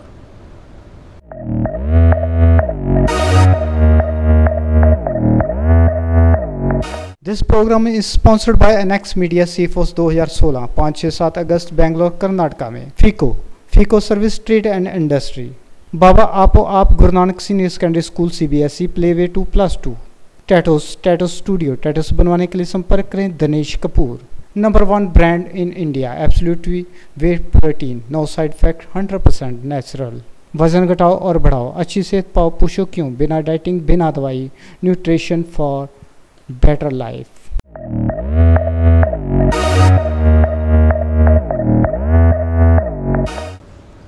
ਇੱਕ ਦੇਖਣ ਨੂੰ ਆ ਰਿਹਾ ਕਿ ਅੱਜ ਕੱਲ ਕਿਸਾਨ ਬਹੁਤ ਜ਼ਿਆਦਾ ਸੁਸਾਈਡ ਵਗੈਰਾ ਕਰ ਰਹੇ। ਉਹਦੇ ਵਿੱਚ ਤੁਸੀਂ ਕੀ ਕਹਿਣਾ ਚਾਹੋਗੇ? ਦੇਖੋ ਬੜੀ ਦੁਖਦਾਈ ਘਟਨਾ ਹੁੰਦੀ ਹੈ ਜਦੋਂ ਕੋਈ ਬੰਦਾ ਇਨਸਾਨ ਆਤਮ ਹੱਤਿਆ ਕਰਦਾ ਕਿਉਂਕਿ ਇਹ ਨਿਰਮੋਲਕ ਜੀਵਨ ਜਿਹੜਾ ਕੋਈ ਆਮ ਜੀਵਨ ਨਹੀਂ ਹੈ। 84 ਲੱਖ ਜੂਨਾਂ ਤੋਂ ਬਾਅਦ ਇਹ ਜੀਵਨ ਮਿਲਦਾ ਹੈ, ਗੁਰਬਾਣੀ ਕਹਿੰਦੀ ਹੈ। ਤੇ ਜਿਹੜੇ ਆਤਮ ਹੱਤਿਆ ਕਰ ਰਹੇ ਜਿੱਥੇ ਦੁੱਖ ਦਾ ਕਾਰਨ ਹੈ, ਉੱਥੇ ਕਈ ਉਹਨਾਂ ਦੀਆਂ ਆਪਣੀਆਂ ਗਲਤੀਆਂ, ਕਿਉਂਕਿ ਪੰਜਾਬ ਸਰਕਾਰ ਵੱਲੋਂ ਬਹੁਤ ਸਹੂਲਤਾਂ ਦਿੱਤੀਆਂ ਜਾ ਰਹੀਆਂ ਕਿਸਾਨਾਂ ਨੂੰ। ਜਿੱਥੇ ਪਾਣੀ ਫ੍ਰੀ ਦਿੱਤਾ ਜਾ ਰਿਹਾ, ਮੋਟਰਾਂ ਫ੍ਰੀ ਦਿੱਤੀਆਂ ਜਾ ਰਹੀਆਂ, ਆਟਾ ਦਾਲ ਸਕੀਮ ਫ੍ਰੀ ਹੈ ਜਿਹੜੇ ਗਰੀਬ ਕਿਸਾਨ ਹੈ, ਜਾਂ ਗਰੀਬ ਵਰਗ ਦੇ ਐਸਸੀਬੀਸੀ ਵਿੰਗ ਤੋਂ ਜਿਹੜੇ ਥੱਲੇ ਆਉਂਦੇ ਆ। ਸਿਰਫ ਜਿਹੜੇ ਆਤਮ ਹੱਤਿਆ ਕਰਦੇ ਉਹਦਾ ਕਾਰਨ ਜੋ ਮੈਂ ਕਾਫੀ ਖੋਜਣ ਦੀ ਕੋਸ਼ਿਸ਼ ਕੀਤੀ ਹੈ, ਉਹ ਪ੍ਰਾਈਵੇਟ ਲੋਕਾਂ ਤੋਂ ਲੋਨ ਲੈ ਲੈਂਦੇ ਆ। ਪ੍ਰਾਈਵੇਟ ਲੋਕਾਂ ਤੋਂ ਜਦੋਂ ਬੇਟੀ ਦਾ ਵਿਆਹ ਕਰਨਾ ਹੁੰਦਾ ਜਾਂ ਕੁਝ ਆਪਣੇ ਬੱਚੇ ਨੂੰ ਅੱਜਕੱਲ ਰਿਵਾਜ ਚੱਲਿਆ, ਬਾਹਰ ਭੇਜਣ ਦਾ ਰਿਵਾਜ ਚੱਲਿਆ, ਬਾਹਰ ਭੇਜ ਦਿੰਦੇ ਬੱਚੇ ਨੂੰ ਸੈਕਸ ਖਰਚੇ ਆਪਣੇ ਕਰ ਲੈਂਦੇ ਆ। ਫਿਰ ਉਸ ਕਰਜ਼ੇ ਤੋਂ ਪ੍ਰਾਈਵੇਟ ਕਰਜ਼ਿਆਂ ਤੋਂ ਤੰਗ ਜਦੋਂ ਹੋ ਜਾਂਦੇ ਆ, ਤੰਗ ਹੋ ਕੇ ਫਿਰ ਉਹ ਇਸ ਚੀਜ਼ ਵੱਲ ਤੁਰ ਪੈਂਦੇ ਆ। ਮੈਂ ਬੇਨਤੀ ਕਰਾਂਗਾ ਕਿ ਉਹਨਾਂ ਨੂੰ ਕਿ ਜੀਵਨ ਬਾਰ-ਬਾਰ ਨਹੀਂ ਮਿਲਦਾ। ਇਸ ਜੀਵਨ ਨੂੰ ਜੇ ਆਪਾਂ ਆਪਾਂ ਨੂੰ ਲੱਗਦਾ ਕਿ ਆਪਾਂ ਮਾੜੇ ਟਾਈਮ 'ਚ ਚੱਲ ਰਹੇ ਹਾਂ ਗੁਰਬਾਣੀ 'ਚ ਲਿਖਿਆ, ਦੁੱਖ, ਦਾਰੂ, ਸੁਖ, ਰੋਗ ਪਿਆ। ਵੀ ਦੁੱਖ, ਦਾਰੂ ਆ ਸੁਖ, ਰੋਗ ਆ, ਵੀ ਜੇ ਦੁੱਖ ਆਂਦਾ ਉਦੋਂ ਰੱਬ ਦਾ ਨਾਮ ਯਾਦ ਆਂਦਾ ਸੁਖ ਰੋਗ ਹੁੰਦਾ, ਸੁਖ ਦੇ ਵਿੱਚ ਗਲਤਾਨ ਹੋ ਜਾਂਦਾ, ਬੰਦਾ ਨੱਚਦਾ, ਟੱਪਦਾ, ਉਹਨੂੰ ਰੱਬ ਯਾਦ ਨਹੀਂ ਆਂਦਾ ਇਸ ਕਰਕੇ ਜੇ ਦੁੱਖ ਆਵੇ, ਉਹਨੂੰ ਸਹਿਜ ਨਾ ਲਓ, ਸਹਿਜ ਕਰਕੇ ਇਹ ਕੋਸ਼ਿਸ਼ ਕਰੋ ਕਿ ਆਪਣੇ ਜਿਹੜੀ ਆਪਣੀ ਚੱਦਰ ਆ, ਉਹਦੇ ਉਹਦੇ ਵਿੱਚ ਹੀ ਚੱਲਿਆ ਜਾਵੇ। ਉਸ ਤੋਂ ਬਾਹਰ ਨਾ ਚੱਲਿਆ ਜਾਵੇ, ਜੇ ਬਾਕੀ ਪੰਜਾਬ ਸਰਕਾਰ ਵੱਲੋਂ ਇੱਕ ਹੈਲਪਲਾਈਨ ਵੀ ਜਾਰੀ ਕੀਤੀ ਗਈ ਹੈ 1905 ਨੰਬਰ ਦੀ ਮੇਰੇ ਖਿਆਲ ਹੈਲਪਲਾਈਨ ਹੈ। ਉਹਦੇ ਵਿੱਚ ਕੋਈ ਵੀ ਕਿਸਾਨ ਦੀ ਕੋਈ ਸਮੱਸਿਆ ਹੋਵੇ, ਕੋਈ ਲੋਨ ਪ੍ਰਤੀ ਹੋਵੇ, ਕਿਸੇ ਦੇ ਪ੍ਰਾਈਵੇਟ ਹੋਵੇ ਜਾਂ ਗਵਰਨਮੈਂਟ ਹੋਵੇ, ਸਰਕਾਰ ਆਪਣੇ ਵੱਲੋਂ ਕਿਸਾਨਾਂ ਦੇ ਨਾਲ ਖੜੀ ਹੈ। ਅੱਜ ਇੱਕੋ ਇੱਕ ਪੰਜਾਬ ਦੀ ਸਰਕਾਰ ਹੈ ਜਿਹੜਾ ਐਸਵਾਈਐਲ ਮੁੱਦੇ ਜਿਹੜਾ ਪਾਣੀ ਦਾ ਮੁੱਦਾ ਸੀਗਾ, ਜਿਹੜਾ ਇੰਨੇ ਸਾਲਾਂ ਤੋਂ ਲਟਕਿਆ ਸੀ, ਸਿਰਫ ਪ੍ਰਕਾਸ਼ ਸਿੰਘ ਬਾਦਲ ਸਾਹਿਬ ਤੇ ਸੁਖਬੀਰ ਸਿੰਘ ਬਾਦਲ ਸਾਹਿਬ ਨੇ ਹੱਲ ਕਰਤਾ ਉਹਲਾ ਮੁੱਦਾ। ਕਾਂਗਰਸ ਦੇ ਰਾਜ ਦੇ ਵਿੱਚ ਸ਼ੁਰੂ ਹੋਇਆ ਸੀਗਾ, ਇੰਦਰਾ ਗਾਂਧੀ ਦੇ ਰਾਜ ਵੇਲੇ ਤੇ ਕੈਪਟਨ ਸਾਹਿਬ ਨੇ ਨਹਿਰ ਦੀ ਨੀਂਹ ਪੱਥਰ ਰੱਖੀ ਸੀ। ਤੇ ਅੱਜ ਰੋਲਾ ਪਾਉਂਦੇ ਵੀ ਕੈਪਟਨ ਸਾਹਿਬ ਪਾਣੀ ਦੇ ਰੱਖਿਆ ਕਿੱਦਾਂ ਹੋ ਸਕਦੇ ਆ? ਅੱਜ ਸਿਰਫ ਬਾਦਲ ਸਰਕਾਰ ਨੇ ਪਾਣੀ ਦੇ ਰੱਖੇ ਬਣ ਕੇ ਪਾਣੀ ਬਚਾਇਆ। ਪਾਣੀ ਵਿੱਚ ਉਹਨਾਂ ਨੇ ਵੀ ਕਿਹਾ ਚਾਹੇ ਉਹਨਾਂ ਨੇ ਕਈਆਂ ਨੇ ਰਿੱਟਾਂ ਵੀ ਲਾਈਆਂ। ਪਾਣੀ ਪਿੱਛੇ ਬਾਦਲ ਸਰਕਾਰ ਨੇ ਸਾਫ਼-ਸਾਫ਼ ਸਪਸ਼ਟ ਕਰ ਸਮਝਾ ਗਿਆ ਕਿ ਸਾਡੀ ਚਾਹੇ ਜਾਨ ਵੀ ਚਲੇ ਜਾਵੇ, ਅਸੀਂ ਕਿਸਾਨਾਂ ਦੇ ਨਾਲ ਆ, ਅਸੀਂ ਪਾਣੀ ਆਪਣੇ ਪੰਜਾਬ ਤੋਂ ਬਾਹਰ ਨਹੀਂ ਜਾਣ ਦੇਣਾ। ਪਰ ਜਿੱਥੇ ਦੂਜੀ ਗੱਲ ਕਰੀਏ, ਆਮ ਆਦਮੀ ਪਾਰਟੀ ਦੀ, ਕੇਜਰੀਵਾਲ ਸਾਹਿਬ ਜਦੋਂ ਪੰਜਾਬ ਦੇ ਵਿੱਚ ਆਏ, ਕਹਿੰਦੇ ਪ- ਪਾਣੀ ਪੰਜਾਬ ਦਾ। ਜਦੋਂ ਦਿੱਲੀ ਜਾ ਕੇ ਪਹੁੰਚੇ, ਕਹਿੰਦੇ ਪਾਣੀ ਦਾ ਦਿੱਲੀ ਤੇ ਹਰਿਆਣੇ ਨੂੰ ਵੀ ਮਿਲਣਾ ਚਾਹੀਦਾ, ਸੁਪਰੀਮ ਕੋਰਟ 'ਚ ਹਲਫਨਾਮਾ ਜ- ਜਾਰੀ ਕਰਦਾ ਡਬਲ ਸਟੈਂਡ ਹੈ ਇਹਨਾਂ ਦਾ। ਇਹ ਡਬਲ ਸਟੈਂਡ ਆ ਤੋਂ ਹਟਣਾ ਪੈਣਾ, ਇੱਕ ਉਹ ਤਰੀਕੇ ਨਾਲ ਜੇ ਆਪਾਂ ਕਿਸਾਨਾਂ ਦੇ ਨਾਲ, ਕਿਸਾਨਾਂ ਦੇ ਨਾਲ ਰਹਿਣਾ ਪੈਣਾ, ਜੇ ਨਹੀਂ ਹੈ ਤਾਂ ਤੁਸੀਂ ਆਪ ਸਾਫ਼ ਦੱਸੋ। ਤੇ ਦੂਜੀ ਗੱਲ ਆਮ ਆਦਮੀ ਪਾਰਟੀ ਦੀ ਇੱਕ ਗੱਲ ਮੈਂ ਹੋਰ ਦੱਸਣੀ ਇੱਥੇ ਜ਼ਰੂਰੀ ਸਮਝਾਂਗਾ। ਗੁਰੂ ਤੇਗ ਬਹਾਦਰ ਜੀ ਦਾ ਜਦੋਂ ਨਾਮ ਆਉਂਦਾ, ਸਾਰਿਆਂ ਦਾ ਸਿਰ ਝੁਕ ਜਾਂਦਾ, ਚਾਹੇ ਹਿੰਦੂ ਹੈ, ਚਾਹੇ ਸਿੱਖ ਹੈ, ਚਾਹੇ ਮੁਸਲਮਾਨ, ਚਾਹੇ ਈਸਾਈ ਹੈ। ਉਹਨਾਂ ਦੀ ਯਾਦਗਾਰ ਸੀਸਗੰਜ ਗੁਰਦੁਆਰੇ ਸਾਹਿਬ ਦੇ ਬਾਹਰ ਬਣੀ ਸੀ, ਜਿੱਥੇ ਉਹਨਾਂ ਨੇ ਇਸ਼ਨਾਨ ਕੀਤਾ ਸੀ ਸ਼ਹਾਦਤ ਦੇਣ ਤੋਂ ਪਹਿਲਾਂ। ਹਿੰਦੁਸਤਾਨ ਦੇ ਵਿੱਚ ਇੱਕ ਮੋਰਲ ਹੈ ਹਿੰਦੂ, ਹਿੰਦੁਸਤਾਨੀਆਂ ਵਾਸਤੇ ਉਹਨਾਂ ਨੇ ਸ਼ਹਾਦਤ ਦਿੱਤੀ ਸੀ। ਤੇ ਉਹਨਾਂ ਨੇ ਮੈਮੋਰੀਅਲ ਜਿਹੜਾ ਬਾਹਰ ਬਣਿਆ ਸੀ, ਜਿੱਥੇ ਇਸ਼ਨਾਨ ਕੀਤਾ ਸੀ, ਉਹ ਢਾਹ ਦੀ ਕੋਸ਼ਿਸ਼ ਕੀਤੀ। ਬੇਤੋੜ ਕੋਸ਼ਿਸ਼ ਕੀਤੀ ਪਰ ਉੱਥੇ ਦੀ ਅਕਾਲੀ ਦਲ ਦੀ ਪੂਰੀ ਟੀਮ ਨੇ ਆ ਕੇ ਲੋਕਾਂ ਨੇ ਆ ਕੇ ਉਹ ਦੁਬਾਰਾ ਬਣਾਤਾ। ਮੈਂ ਸਮਝਾਂਗਾ ਵੀ ਇਹੋ ਜਿਹੇ ਲੋਕਾਂ ਨੂੰ ਆਪਾਂ ਜਿਨ੍ਹਾਂ ਨੂੰ ਸਾਡੀ ਵਿਰਾਸਤ ਦਾ ਹੀ ਨਹੀਂ ਪਤਾ ਉਹ ਕੀ ਕਰਨਗੇ? ਅਸੀਂ ਅਕਾਲੀ ਦਲ ਦੀ ਸਰਕਾਰ ਅੱਜ ਕਿਸਾਨਾਂ ਦੇ ਨਾਲ ਖੜੀ ਹੈ ਇੱਕ 2017 ਦੇ ਇਲੈਕਸ਼ਨ ਹੋਣ ਵਾਲੇ ਜੀ ਜੀ। ਤੁਹਾਨੂੰ ਕਿੱਦੇ ਤੋਂ ਜ਼ਿਆਦਾ ਲੱਗਦਾ ਹੈ ਕਿ ਡਰ ਲੱਗਦਾ ਆਮ ਆਦਮੀ ਪਾਰਟੀ ਕੇ ਕਾਂਗਰਸ? ਨਹੀਂ ਡਰ ਤਾਂ ਸਾਨੂੰ ਕਿਸੇ ਤੋਂ ਨਹੀਂ ਲੱਗਦਾ ਕਿਉਂਕਿ ਇੱਕੋ ਇੱਕ ਸ਼੍ਰੋਮਣੀ ਅਕਾਲੀ ਦਲ ਦੀ ਜਮਾਤ ਹੈ ਅਕਾਲੀ ਦਲ ਦੀ ਸਰਕਾਰ ਹੈ। ਜਿਨ੍ਹਾਂ 'ਚ ਪੰਜਾਬ ਦੇ ਵਿੱਚ ਵਿਕਾਸ ਦੀਆਂ ਹਨੇਰੀਆਂ ਲਿਆਤੀਆਂ। ਗੱਲ ਕਰਦੇ ਹੁੰਦੇ ਸੀ ਵੀ ਪੰਜਾਬ 'ਚ ਬਿਜਲੀ ਨਹੀਂ ਹੈ, ਅੱਜ ਬਿਜਲੀ ਵੀ ਹੈ। ਕਹਿੰਦੇ ਸੀ ਪੰਜਾਬ ਦੀਆਂ ਸੜਕਾਂ ਬਹੁਤ ਮਾੜੀਆਂ, ਅੱਜ ਪੰਜਾਬ ਦੇ ਪਿੰਡਾਂ ਦੀਆਂ ਵੀ ਤੁਸੀਂ ਸੜਕਾਂ ਦੇਖ ਸਕਦੇ ਹੋ, ਉਹ ਵੀ ਪੱਕੀਆਂ ਬਣ ਚੁੱਕੀਆਂ। ਤੁਸੀਂ ਦੇਖੋ ਵੀ ਪੰਜਾਬ ਇੱਕ ਹੈਰੀਟੇਜ ਹੈ, ਜਿੱਥੇ 골ਡਨ ਟੈਂਪਲ ਦਰਬਾਰ ਸਾਹਿਬ ਜਿਹੜਾ, ਜਿਹਦਾ ਦੁਨੀਆ ਦਾ ਇੱਕ, ਇੱਕੋ ਇੱਕ ਅਜੂਬਾ ਹੈ, ਅਲੱਗ ਅਜੂਬਾ ਜਿਹੜਾ ਮੰਨਿਆ ਜਾਂਦਾ। ਉਹਦੇ ਨਾਲ ਨਾਲ ਆਨੰਦਪੁਰ ਸਾਹਿਬ ਦੇ ਵਿੱਚ ਵਿਰਾਸਤੇ ਖਾਲਸਾ ਬਣਾਇਆ। ਇੱਥੇ ਇੱਕ ਯਾਦਗਾਰ ਕਰਤਾਰਪੁਰ ਦੇ ਕੋਲ ਯਾਦਗਾਰ ਬਣ ਰਹੀ ਹੈ ਸ਼ਹੀਦਾਂ ਦੇ ਵਾਸਤੇ। ਸ਼ਹੀਦੇ ਯਾਦਗਾਰ ਬਣ ਰਹੀ ਹੈ। ਬਾਬਾ ਬੰਦਾ ਸਿੰਘ ਦੀ ਯਾਦਗਾਰ ਬਣਾਈ ਹੈ ਚੱਪੜਚਿੜੀ ਦੇ ਵਿੱਚ ਬਣਾਈ ਹੈ। ਇਦਾਂ ਦੇ ਅਨੇਕਾਂ ਇਹੋ ਜਿਹੇ ਕੰਮ ਕਰਦੇ ਪੰਜਾਬ ਸਰਕਾਰ ਨੇ ਜਿਹੜੇ ਅੱਜ ਤੱਕ ਦੇਖਣ ਤੋਂ ਪਹਿਲਾਂ ਨਹੀਂ ਮਿਲੇ ਸੀ। ਸਾਨੂੰ ਕਿਸੇ ਤੋਂ ਡਰ ਨਹੀਂ ਚਾਹੇ ਆਮ ਆਦਮੀ ਪਾਰਟੀ ਹੈ ਚਾਹੇ ਕਾਂਗਰਸ ਹੈ। ਕਾਂਗਰਸ ਤਾਂ ਤੁਸੀਂ ਪਿੱਛੇ ਇਲੈਕਸ਼ਨਾਂ ਹੋਈਆਂ ਪੰਜ ਸਟੇਟਾਂ ਦੇ ਵਿੱਚੋਂ ਤਕਰੀਬਨ ਸਾਰਿਆਂ 'ਚ ਹਾਰ ਗਈ ਹੈ। ਉਹ ਤੋਂ ਸਾਫ਼ ਪਤਾ ਲੱਗਦਾ ਕਿ ਕਾਂਗਰਸ ਦੇ ਜਿਹੜੇ ਆਪਣੇ ਆਪਣੇ ਕੀਤੇ ਕਿਉਂਕਿ ਬੰਦਾ ਆ, ਜਿਹੜੇ ਕਹਿੰਦੇ ਨੇ ਪਾਪੀ ਕੋ ਮਾਰਨੇ ਕੇ ਲਈ ਪਾਪ ਮਹਾਬਲੀ ਹੈ। ਉਹਨਾਂ ਦੇ ਆਪਣੇ ਪਾਪ ਮਾਰੇ ਜਿਹੜੇ ਆਮ ਆਦਮੀ ਪਾਰਟੀ ਹੈ। ਇਹ ਸਿਰ ਮੁੱਦਿਆਂ ਤੋਂ ਬਣੀ ਸਰਕਾਰ ਹੈ। ਦਿੱਲੀ ਦੇ ਵਿੱਚ ਮੁੱਦੇ ਤਾਂ ਬਣੀ ਹੈ ਦਿੱਲੀ ਦੇ ਵਿੱਚ ਆਟੋ ਵਾਲਿਆਂ ਦੇ ਨਾਲ ਇਹਨਾਂ ਨੇ ਸਪੋਰਟਰ ਸੀਗੇ ਕਿਉਂਕਿ ਪ- ਮੇਰੇ ਖਿਆਲ 50000 ਤੋਂ ਵੱਧ ਆਟੋ ਵਾਲਿਆਂ ਨੇ ਇਹਨਾਂ ਨੂੰ ਸਪੋਰਟ ਕੀਤੀ ਸੀਗੀ। ਤੇ ਇਹਨਾਂ ਦੀ ਸਰਕਾਰ ਬਣੀ ਸੀ ਤੇ ਮੈਂ ਪਿਛਲੀ ਵਾਰੀ ਦਿੱਲੀ ਜਾਣ ਦਾ ਮੌਕਾ ਮਿਲਿਆ। ਤੇ ਇੱਕ ਆਟੋ ਵਾਲੇ ਭਾਈ ਸਾਹਿਬ ਨੂੰ ਪੁੱਛਿਆ ਵੀ, ਮੈਂ ਕਿਹਾ ਵੀ ਤੁਸੀਂ ਸੁਖੀ ਹੋ? ਕੇਜਰੀਵਾਲ ਸਰਕਾਰ ਤੋਂ ਕਹਿੰਦਾ, ਕਿਆ ਸੁਖੀ ਹੈ? ਕਹਿੰਦਾ ਵੀ 210 ਰੁਪਏ ਪਹਿਲਾਂ ਕਮਰਸ਼ੀਅਲ ਲਾਇਸੈਂਸ ਦੀ ਫੀਸ ਹੁੰਦੀ ਸੀ। ਅੱਜ 9500 ਰੁਪਏ ਕਰਤੀ ਹੈ। ਤੇ ਤੁਸੀਂ ਜਿਨ੍ਹਾਂ ਤੋਂ ਸਰਕਾਰ ਬਣੀ ਹੋਵੇ ਉਹਨਾਂ ਦੇ ਖਿਲਾਫ ਇਹ ਚੱਲ ਪਏ ਆ ਫਿਰ ਰੇੜੀ ਫੜੀ ਵਾਲਿਆਂ ਨੂੰ ਪੁੱਛਿਆ ਵੀ ਇਹ ਰਿਸ਼ਵਤ ਬੰਦ ਹੋ ਗਈ। ਕਹਿੰਦੇ ਰਿਸ਼ਵਤ ਕਿੱਥੇ ਬੰਦ ਹੋ ਗਈ ਪਹਿਲਾਂ 500 ਰੁਪਏ ਦੇ ਕੇ ਰੇੜੀ ਫਿਰ ਫੜੀ ਲੱਗ ਜਾਂਦੀ ਸੀ। ਹੁਣ ਡੰਡੇ ਵੀ ਖਾਈਦੇ ਆ ਤੇ ਨਾਲ 2000 ਰੁਪਏ ਵੀ ਦੇਈਦਾ ਤੇ ਇਸ ਤੋਂ ਇੱਕੋ ਇੱਕ ਅਕਾਲੀ ਦਲ ਦੀ ਸਰਕਾਰ ਹੈ, ਸਾਨੂੰ ਕਿਸੇ ਤੋਂ ਡਰ ਨਹੀਂ ਲੱਗਦਾ। ਅਸੀਂ ਆਪਣੇ ਕੰਮਾਂ, ਕੰਮ ਲੈ ਕੇ ਲੋਕਾਂ ਦੀ ਅਦਾਲਤ 'ਚ ਜਾਵਾਂਗੇ, ਨਾ ਕਿ ਅਸੀਂ ਕੋਈ ਮੁੱਦੇ ਬਣਾ ਕੇ ਲੈ ਕੇ ਜਾਵਾਂਗੇ। ਤੇ ਅਸੀਂ ਦੁਬਾਰਾ 2017 'ਚ ਰਿਪੀਟ ਹੋਵਾਂਗੇ। ਸਰਦਾਰ ਪ੍ਰਕਾਸ਼ ਸਿੰਘ ਬਾਦਲ, ਜਿਨ੍ਹਾਂ ਦੀ ਉਮਰ, ਇੰਨੀ ਉਮਰ ਹੋਣ ਦੇ ਬਾਵਜੂਦ ਵੀ ਲੋਕਾਂ ਦੇ ਵਿੱਚ ਸੰਗਤ ਦਰਸ਼ਨ ਕਰ ਰਹੇ ਨੇ। ਆਪ ਆਦਮੀ ਪਾਰਟੀ ਵਾਲੇ ਪਹਿਲੇ ਦਿਨ ਹੀ ਸੰਗਤ ਦਰਸ਼ਨ ਤੋਂ ਭੱਜ ਗਏ ਸੀ। ਤੇ ਅੱਜ ਬਾਦਲ ਸਾਹਿਬ ਪਿੰਡਾਂ ਪਿੰਡਾਂ ਦੇ ਵਿੱਚ ਜਾ ਕੇ ਗਲੀ ਗਲੀ ਦੇ ਵਿੱਚ ਜਾ ਕੇ ਸੰਗਤ ਦਰਸ਼ਨ ਕਰ ਰਿਹਾ ਲੋਕਾਂ ਦੀਆਂ ਸਮੱਸਿਆਵਾਂ ਸੁਣ ਸੁਣ ਰਿਹਾ। ਮੈਂ ਇਹ ਨਹੀਂ ਕਹਿੰਦਾ ਵੀ ਸਾਰੀਆਂ ਸਮੱਸਿਆਵਾਂ ਪੰਜਾਬ ਦੀਆਂ ਦੂਰ ਹੋ ਗਈਆਂ ਨਾਨਕ ਦੁਖੀਆ ਸਭ ਸੰਸਾਰ। ਇਹ ਤਾਂ ਸਮੱਸਿਆਵਾਂ ਆਉਂਦੀਆਂ ਰਹਿਣੀਆਂ, ਪਰ ਲੀਡਰ ਨੂੰ ਹਮੇਸ਼ਾ ਪੋਜ਼ਿਟਿਵ ਸੋਚਣਾ ਚਾਹੀਦਾ ਵੀ ਆਪਾਂ ਲੋਕਾਂ ਲਈ ਕੀ ਕੰਮ ਕਰੀਏ। ਤਾਂ ਅਸੀਂ ਪੋਜ਼ਿਟਿਵਿਟੀ ਨੂੰ ਲੈ ਕੇ 2017 ਦੇ ਵਿੱਚ ਅਸੀਂ ਆਪਣੀ ਸਰਕਾਰ ਬਣਾਵਾਂਗੇ। ਦੂਜਾ ਵੱਡਾ ਕਾਰਨ ਕੀ ਹੈ 2017 ਚ ਸਾਡੀ ਸਰਕਾਰ ਬਣਨ ਦਾ ਕਿਉਂਕਿ ਕਾਂਗਰਸ ਕਹਿੰਦੀ ਹੈ ਵੀ ਸਾਡੇ ਕੋਲ 3 ਲੱਖ ਦੇ ਕਰੀਬ ਨੌਜਵਾਨ ਅਸੀਂ ਭਰਤੀ ਕੀਤੇ। ਜਦਕਿ ਉਹਨਾਂ ਕੋਲ ਤੱਤ ਕੋਈ ਨਹੀਂ ਹੈ। ਚਲੋ ਅਸੀਂ ਉਹਨਾਂ ਦੇ ਇਹ ਇਹ ਵੀ ਮੰਨ ਲੈਂਦੇ ਆ ਆਮ ਆਮ ਆਮ ਆਦਮੀ ਪਾਰਟੀ ਵਾਲੇ 1.5 ਲੱਖ ਦੇ ਕਰੀਬ ਕਹਿੰਦੇ ਵੀ ਸਾਡੇ ਕੋਲ ਨੌਜਵਾਨ ਹੈ। ਸਿਰਫ ਇੱਕੋ ਇੱਕ ਸ਼੍ਰੋਮਣੀ ਅਕਾਲੀ ਦਲ ਪਾਰਟੀ ਹੈ ਜਿਹਨੇ 10 ਲੱਖ ਤੋਂ ਵੱਧ ਭਰਤੀ ਕੀਤੀ ਹੈ, ਬਕਾਇਦਾ ਕਾਰਡ ਜਾਰੀ ਕੀਤੇ ਆ। ਤੇ ਕੁਝ ਮਸ਼ੀਨਾਂ ਦੀ ਪਿੱਛੋਂ ਖਰਾਬੀ ਹੋਣ ਕਰਕੇ ਉਹ ਰੁਕ ਗਿਆ ਸੀ, ਹੁਣ ਦੁਬਾਰਾ ਸ਼ੁਰੂ ਹੋ ਰਹੀ ਹੈ। ਆ ਸਾਨੂੰ ਉਮੀਦ ਹੈ ਕਿ 5-6 ਲੱਖ ਅਸੀਂ ਹੋਰ ਯੂਥ ਭਰਤੀ ਕਰਾਂਗੇ। 15 ਲੱਖ ਤੋਂ ਵੱਧ ਜਿਹਦੇ ਕੋਲ ਨੌਜਵਾਨ ਪੰਜਾਬ ਦੇ ਵਿੱਚ ਅਕਾਲੀ ਦਲ ਕਿ ਹੋਵੇ? ਕਿਉਂਕਿ ਰੀੜ ਦੀ ਹੱਡੀ ਹੁੰਦਾ ਹਮੇਸ਼ਾ ਸਮਾਜ ਦੀ ਨੌਜਵਾਨ। ਤੇ 15 ਲੱਖ ਤੋਂ ਵੱਧ ਸਾਡੇ ਕੋਲ ਨੌਜਵਾਨ ਹੈ ਜੇ ਨੌਜਵਾਨ ਤਾਕਤ ਹੁੰਦੀ ਹੈ ਸ਼ਕਤੀ ਹੁੰਦੀ ਹੈ ਤੇ 2017 ਚ ਅਸੀਂ ਸਮਝਦੇ ਕਿ ਨੌਜਵਾਨ ਇਹਦੇ ਪੂਰੀ ਤਾਕਤ ਝੋਕ ਕੇ ਦੁਬਾਰਾ ਪੰਜਾਬ ਨੂੰ ਜਿਹੜੀਆਂ ਲੀਹਾਂ ਚੱਲ ਰਹੀਆਂ ਵਿਕਾਸ ਦੀਆਂ ਉਹਦੇ ਉੱਤੇ 2017 ਤੋਂ ਦੁਬਾਰਾ ਰੈਗੂਲਰ ਸ਼ੁਰੂ ਕਰਾਂਗੇ। ਤੁਸੀਂ last time body building association ਦੇ ਵਿੱਚ ਵੀ ਆਏ? ਜੀ ਜੀ ਜੀ। ਉਹਦੇ ਵਿੱਚ ਤੁਹਾਡੇ ਆਉਣ ਦਾ ਕੋਈ ਮੋਟਿਵ ਦੇਖੋ ਮੇਰਾ ਹਮੇਸ਼ਾ ਮੋਟਿਵ ਮੇਰਾ ਕਲੀਅਰ ਮੋਟਿਵ ਹੈ ਕਿ ਪੰਜਾਬ ਮੈਂ ਤੰਦਰੁਸਤ ਦੇਖਣਾ ਚਾਹੁੰਦਾ। ਕਿਉਂਕਿ ਜਦੋਂ ਪ- ਪੰਜਾਬ ਦੀ ਗੱਲ ਆਉਂਦੀ ਹੈ, ਤੰਦਰੁਸਤ ਦੀ ਗੱਲ ਆਉਂਦੀ ਹੈ, ਦਾਰਾ ਸਿੰਘ ਵਰਗਿਆਂ ਦੀ ਗੱਲ ਆਉਂਦੀ ਹੈ। ਤੇ ਫਿਰ ਜੋ ਉਦੋਂ ਦਿਲ ਕਰਦਾ ਕਿ ਸਾਡੇ ਨੌਜਵਾਨ ਵੀ ਚੜ੍ਹਦੀ ਕਲਾ ਚ ਰਹਿਣ ਤੇ ਜਦੋਂ ਮੈਂ ਬੋਡੀ ਬਿਲਡਿੰਗ ਐਸੋਸੀਏਸ਼ਨ ਦੇਖੀ ਤੇ ਬੜੇ ਤਗੜੇ ਤਗੜੇ ਨੌਜਵਾਨ ਦੇਖੇ ਜਿਹੜੇ ਬੜੇ ਬੋਡੀ ਕੱਢ ਕੇ ਤੇ ਆਪਣੇ ਆਪ ਪੰਜਾਬ ਦਾ ਸਹੀ ਪ੍ਰਦਰਸ਼ਨ ਕਰ ਰਿਹਾ। ਤੇ ਦਾਸ ਨੂੰ ਉੱਥੇ ਦੀ ਜ਼ਿੰਮੇਵਾਰੀ ਮਿਲੀ, ਉਹਦੇ ਵਿੱਚ ਵੀ ਭਾਗ ਲਿਆ। ਫਿਰ ਮੈਨੂੰ ਕਿਕ ਬਾਕਸਿੰਗ ਦੇ ਵਿੱਚ ਵੀ ਚੇਅਰਮੈਨ ਬਣਾਇਆ ਗਿਆ। ਗੱਤਕੇ ਦੇ ਵਿੱਚ ਵੀ ਮੈਨੂੰ ਪ੍ਰਧਾਨਗੀ ਦਿੱਤੀ ਗਈ ਹੈ। ਤੇ ਮੈਨੂੰ ਖੇਡ ਮੇ- ਕ- ਪ੍ਰਤੀ ਕਿਉਂਕਿ ਜਦੋਂ ਜਿਹੜਾ ਬੰਦਾ ਖੇਡਦਾ ਹੋਵੇ, ਆਪਣੇ ਸਰੀਰ ਜਦੋਂ ਕਹਿੰਦੇ ਤਨ ਤੰਦਰੁਸਤ ਤੇ ਉਹਦਾ ਮਨ ਵੀ ਤੰਦਰੁਸਤ ਹੋਊਗਾ ਜਿਹਦਾ ਤਨ ਤੰਦਰੁਸਤ ਹੋਊਗਾ ਮਨ ਤੰਦਰੁਸਤ ਹੋ ਕੇ ਉਹ ਸਮਾਜ ਦੀ ਸੇਵਾ ਹੀ ਉਹੀ ਕਰ ਸਕਦਾ ਜਿਹਦਾ ਤਨ ਤੰਦਰੁਸਤ ਹੋਏਗਾ। ਤੁਸੀਂ ਆਪ ਵੀ ਸਪੋਰਟਮੈਨ ਰਹੇ ਹੋ? ਨਹੀਂ ਮੈਂ ਆਪ ਵੀ ਸਪੋਰਟਸਮੈਨ ਰਿਹਾ ਜੀ ਮੈਂ ਕ੍ਰਿ- ਕ੍ਰਿਕਟ ਖੇਡਦਾ ਰਿਹਾ ਬੈਡਮਿੰਟਨ ਖੇਡਦਾ ਰਿਹਾ ਸਵਿਮਿੰਗ ਦੇ ਵਿੱਚ ਕਰਦਾ ਰਿਹਾ ਹਾਰਸ ਰਾਈਡਿੰਗ ਕਰਦਾ ਰਿਹਾ। ਮੈਨੂੰ ਕਾਫੀ ਸ਼ੌਂਕ ਹੈਗੇ ਜੀ ਮੈਂ ਪਿੱਛੇ ਸਕਾਈ ਡਾਈਵਿੰਗ ਵੀ ਕੀਤੀ ਸੀਗੀ ਕਿਉਂਕਿ ਮੈਨੂੰ ਇੱਕ ਪੈਸ਼ਨ ਦਾ ਇੱਕ ਸ਼ੌਂਕ ਹੈ। ਜੋ ਉਹੀ ਸ਼ੌਂਕ ਮੈਨੂੰ ਅੱਗੇ ਲੈ ਕੇ ਜਾ ਰਿਹਾ। ਹਰ ਜਗ੍ਹਾ ਤੇ ਮੈਂ ਪੋਜ਼ਿਟਿਵ ਕਰਨਾ ਚਾਹੁੰਦਾ ਵੀ ਜਿੱਥੇ ਰਹਾਂਗਾ ਪੋਜ਼ਿਟਿਵਿਟੀ ਦੇ ਨਾਲ ਆਪਣਾ ਕੰਮ ਕਰਾਂਗਾ ਜੀ। ਆਪਣਾ ਇੱਕ ਹੋਰ 2017 ਇਲੈਕਸ਼ਨ ਹੋ ਰਿਹਾ ਉਹਦੇ ਵਿੱਚ ਤੁਸੀਂ ਕਿਹੜੇ ਮੁੱਦੇ ਲੈ ਕੇ ਆ ਰਹੇ ਹੋ? ਕਿ ਜਿਹਦੇ ਨਾਲ ਤੁਹਾਨੂੰ ਪੰਜਾਬ ਦੇ ਲੋਕ ਵੋਟ ਪਾਣ ਕੋਈ ਨਹੀਂ ਮੇਰੇ ਮੇਰੇ ਕੋਲ ਕੋਈ ਮੁੱਦਾ ਨਹੀਂ ਮੇਰੇ ਕੋਲ ਤਾਂ ਇੱਕ ਪੰਜਾਬ ਸਰਕਾਰ ਦੀ ਇੱਕ ਸਿੰਪਲ ਜਿਹਾ ਫੰਡਾ ਵਿਕਾਸ। ਸੈਕੂਲਰਿਜ਼ਮ ਪੰਜਾਬ ਦੇ ਵਿੱਚ ਜਿੱਥੇ ਵਿਕਾਸ ਬਹੁਤ ਹੋਇਆ ਉੱਥੇ ਭਾਈਚਾਰਾ ਬੜਾ ਕਾਇਮ ਕੀਤਾ ਗਿਆ। ਪਿਛਲੇ ਦਿਨਾਂ 'ਚ ਬੜੀ ਕੋਸ਼ਿਸ਼ ਕੋਝੀਆਂ ਕੋਸ਼ਿਸ਼ਾਂ ਕੀਤੀਆਂ ਗਈਆਂ ਵੀ ਪੰਜਾਬ ਸਰਕਾਰ ਨੂੰ ਬਦਨਾਮ ਕਰਨ ਵਾਸਤੇ ਗੁਰੂ ਗ੍ਰੰਥ ਸਾਹਿਬ ਤੇ ਜਿਹੜੇ ਹਮਲੇ ਹੋਏ ਆ। ਮੈਂ ਤਾਂ ਇਹ ਸਮਝਾਂਗਾ ਵੀ ਇੱਕ ਧਾਰਮਿਕ ਗ੍ਰੰਥ ਤੇ ਹਮਲਾ ਕਰਨਾ ਚਾਹੇ ਕਿ ਸਾਰੇ ਗ੍ਰੰਥਾਂ ਨੂੰ ਅਸੀਂ ਮਾਣ ਦਿੰਦੇ ਆ ਪਰ ਇੱਕ ਗ੍ਰੰਥ ਤੇ ਹਮਲਾ ਕਰਨਾ ਜਿਹੜਾ ਗੁਰੂ ਗ੍ਰੰਥ ਸਾਹਿਬ ਮਾਨਵਤਾ ਦੀ ਇਕਤਾ ਦੀ ਗੱਲ ਕਰਦਾ ਮਾਨਸ ਕੀ ਜਾਤ ਸਭੇ ਕੇ ਪਹਿਚਾਨ ਬੋ ਉਸ ਤੇ ਹਮਲਾ ਹੋਣਾ ਸਮੇਂ ਤੋਂ ਵੀ ਸਾਰੀ ਮਾਨਵਤਾ ਤੇ ਹਮਲਾ ਹੋਇਆ। ਤੇ ਉਹ ਆਉਣ ਵਾਲਾ ਟਾਈਮ ਜਿਨ੍ਹਾਂ ਨੇ ਪੋਲੀਟੀਕਲ ਪ੍ਰੇਰਿਤ ਹੈ, ਕਿਉਂਕਿ ਕੋਈ ਵੀ ਕੰਮ ਹੁੰਦਾ ਪੋਲੀਟੀਕਲ ਪ੍ਰੇਰਿਤ ਹੁੰਦਾ। ਜਿਨ੍ਹਾਂ ਨੇ ਵੀ ਕੰਮ ਕੀਤਾ, ਉਹਨਾਂ ਨੂੰ ਸਜ਼ਾ ਮਿਲਣੀ ਹੈ। ਅਕਾਲੀ ਦਲ ਹਮੇਸ਼ਾ ਸਾਰੇ ਧਰਮਾਂ ਦੇ ਸਤਿਕਾਰ ਕਰਦਾ ਰਿਹਾ। ਉਹ ਸਤਿਕਾਰ ਵੀ ਕਰਦਾ ਹੋਊਗਾ ਤੇ ਨਾਲ ਨਾਲ ਸਿਰਫ ਵਿਕਾਸ ਦੀ ਗੱਲ ਕਰੂਗਾ ਵੀ ਪੰਜਾਬ ਨੂੰ ਕਿੱਦਾਂ ਵਿਕਾਸ ਦੀਆਂ ਲੀਹਾਂ ਤੇ ਸੋਨੇ ਦੀ ਚਿੜੀਆ ਬਣਾਇਆ ਜਾਵੇ। ਬਸ ਇਸ ਮੁੱਦੇ ਨੂੰ ਲੈ ਕੇ ਅਸੀਂ ਲੋਕਾਂ ਦੇ ਵਿੱਚ ਜਾਵਾਂਗੇ ਤੇ ਲੋਕਾਂ ਦੀ ਕਚਹਿਰੀ 'ਤੇ ਜਾ ਕੇ ਉਮੀਦ ਕਰਦੇ ਹਾਂ ਕਿ 2017 ਦੇ ਵਿੱਚ ਫਿਰ ਤੀਜੀ ਵਾਰ ਸਰਕਾਰ ਬਣਾ ਕੇ ਇੱਕ ਇਤਿਹਾਸ ਸਿਰਜਾਂਗੇ ਪੰਜਾਬ ਦੇ ਵਿੱਚ ਜੀ। ਇਹ ਸੀ ਸਾਡੇ ਗੁਰਦੀਪ ਸਿੰਘ ਗੋਸ਼ਾ ਜੀ ਜੋ ਯੂਥ ਅਕਾਲੀ ਦਲ ਦੇ ਪ੍ਰੈਜ਼ੀਡੈਂਟ ਹੈ। ਕਾਫੀ ਵਧੀਆ ਲੱਗਿਆ ਜੀ ਤੁਹਾਡੇ ਨਾਲ ਗੱਲ ਕਰਕੇ। ਬਹੁਤ ਬਹੁਤ ਧੰਨਵਾਦ ਜੀ ਤੁਹਾਡਾ। ਸਤਿ ਸ਼੍ਰੀ ਅਕਾਲ ਜੀ। ਇਹ ਸੀ ਸਾਡੇ ਗੁਰਦੀਪ ਸਿੰਘ ਗੋਸ਼ਾ ਜੀ ਜੋ ਯੂਥ ਅਕਾਲੀ ਦਲ ਦੇ ਪ੍ਰੈਜ਼ੀਡੈਂਟ ਨੇ। ਕਾਫੀ ਵਧੀਆ ਲੱਗਿਆ ਜੀ ਤੁਹਾਡੇ ਨਾਲ ਗੱਲਬਾਤ ਕਰਕੇ। ਧੰਨਵਾਦ ਜੀ। ਮਿਹਰਬਾਨੀ ਬਾਈ। ਦਾਸ ਨੂੰ ਕਿਸੇ ਵੇਲੇ ਵੀ ਸੰਪਰਕ ਕੀਤਾ ਜਾ ਸਕਦਾ ਹੈ। ਦਾਸ ਦਾ ਨੰਬਰ 8543 8543 ਹੈ। ਇਹਦੇ ਵਿੱਚ ਚਾਹੇ ਕੋਈ ਕਾਂਗਰਸ ਵਾਲੇ ਹੋਣ, ਚਾਹੇ ਆਮ ਆਦਮੀ ਪਾਰਟੀ ਵਾਲੇ ਹੋਣ, ਚਾਹੇ ਟੀਮ ਇਨਸਾਫ ਵਾਲੇ ਹੋਣ, ਚਾਹੇ ਕੋਈ ਵੀ ਇਨਸਾਨ ਹੋਵੇ, ਆਮ ਇਨਸਾਨ ਹੋਵੇ, ਉਹ ਕਦੀ ਵੀ ਕਿਸੇ ਵੀ ਕੰਮ ਦੀ ਜਦੋਂ ਲੋੜ ਹੋਵੇ, ਅਸੀਂ ਆਪਣੇ ਵੱਲੋਂ ਪੂਰੀ ਕੋਸ਼ਿਸ਼ ਕਰਾਂਗੇ, ਕਰਨਾ ਉਸ ਮਾਲਕ ਨੇ ਹੁੰਦਾ, ਪਰ ਅਸੀਂ ਆਪਣੇ ਵੱਲੋਂ ਪੂਰੀ ਕੋਸ਼ਿਸ਼ ਕਰਕੇ ਉਹਦਾ ਮਸਲਾ ਹੱਲ ਕਰਾਉਣ ਦੀ ਕੋਸ਼ਿਸ਼ ਕਰਾਂਗੇ। ਬਹੁਤ ਬਹੁਤ ਧੰਨਵਾਦ। ਵਾਹਿਗੁਰੂ ਜੀ ਕਾ ਖਾਲਸਾ। ਵਾਹਿਗੁਰੂ ਜੀ ਕੀ ਫਤਿਹ।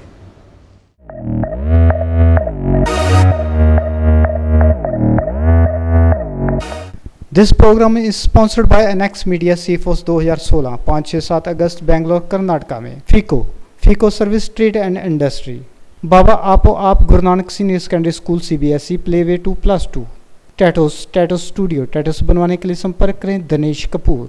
Number one brand in India absolutely whey protein no side effect hundred percent natural वज़न घटाओ और बढ़ाओ, अच्छी सेहत पाओ पुशो क्यों? बिना डाइटिंग बिना दवाई। Nutrition for better life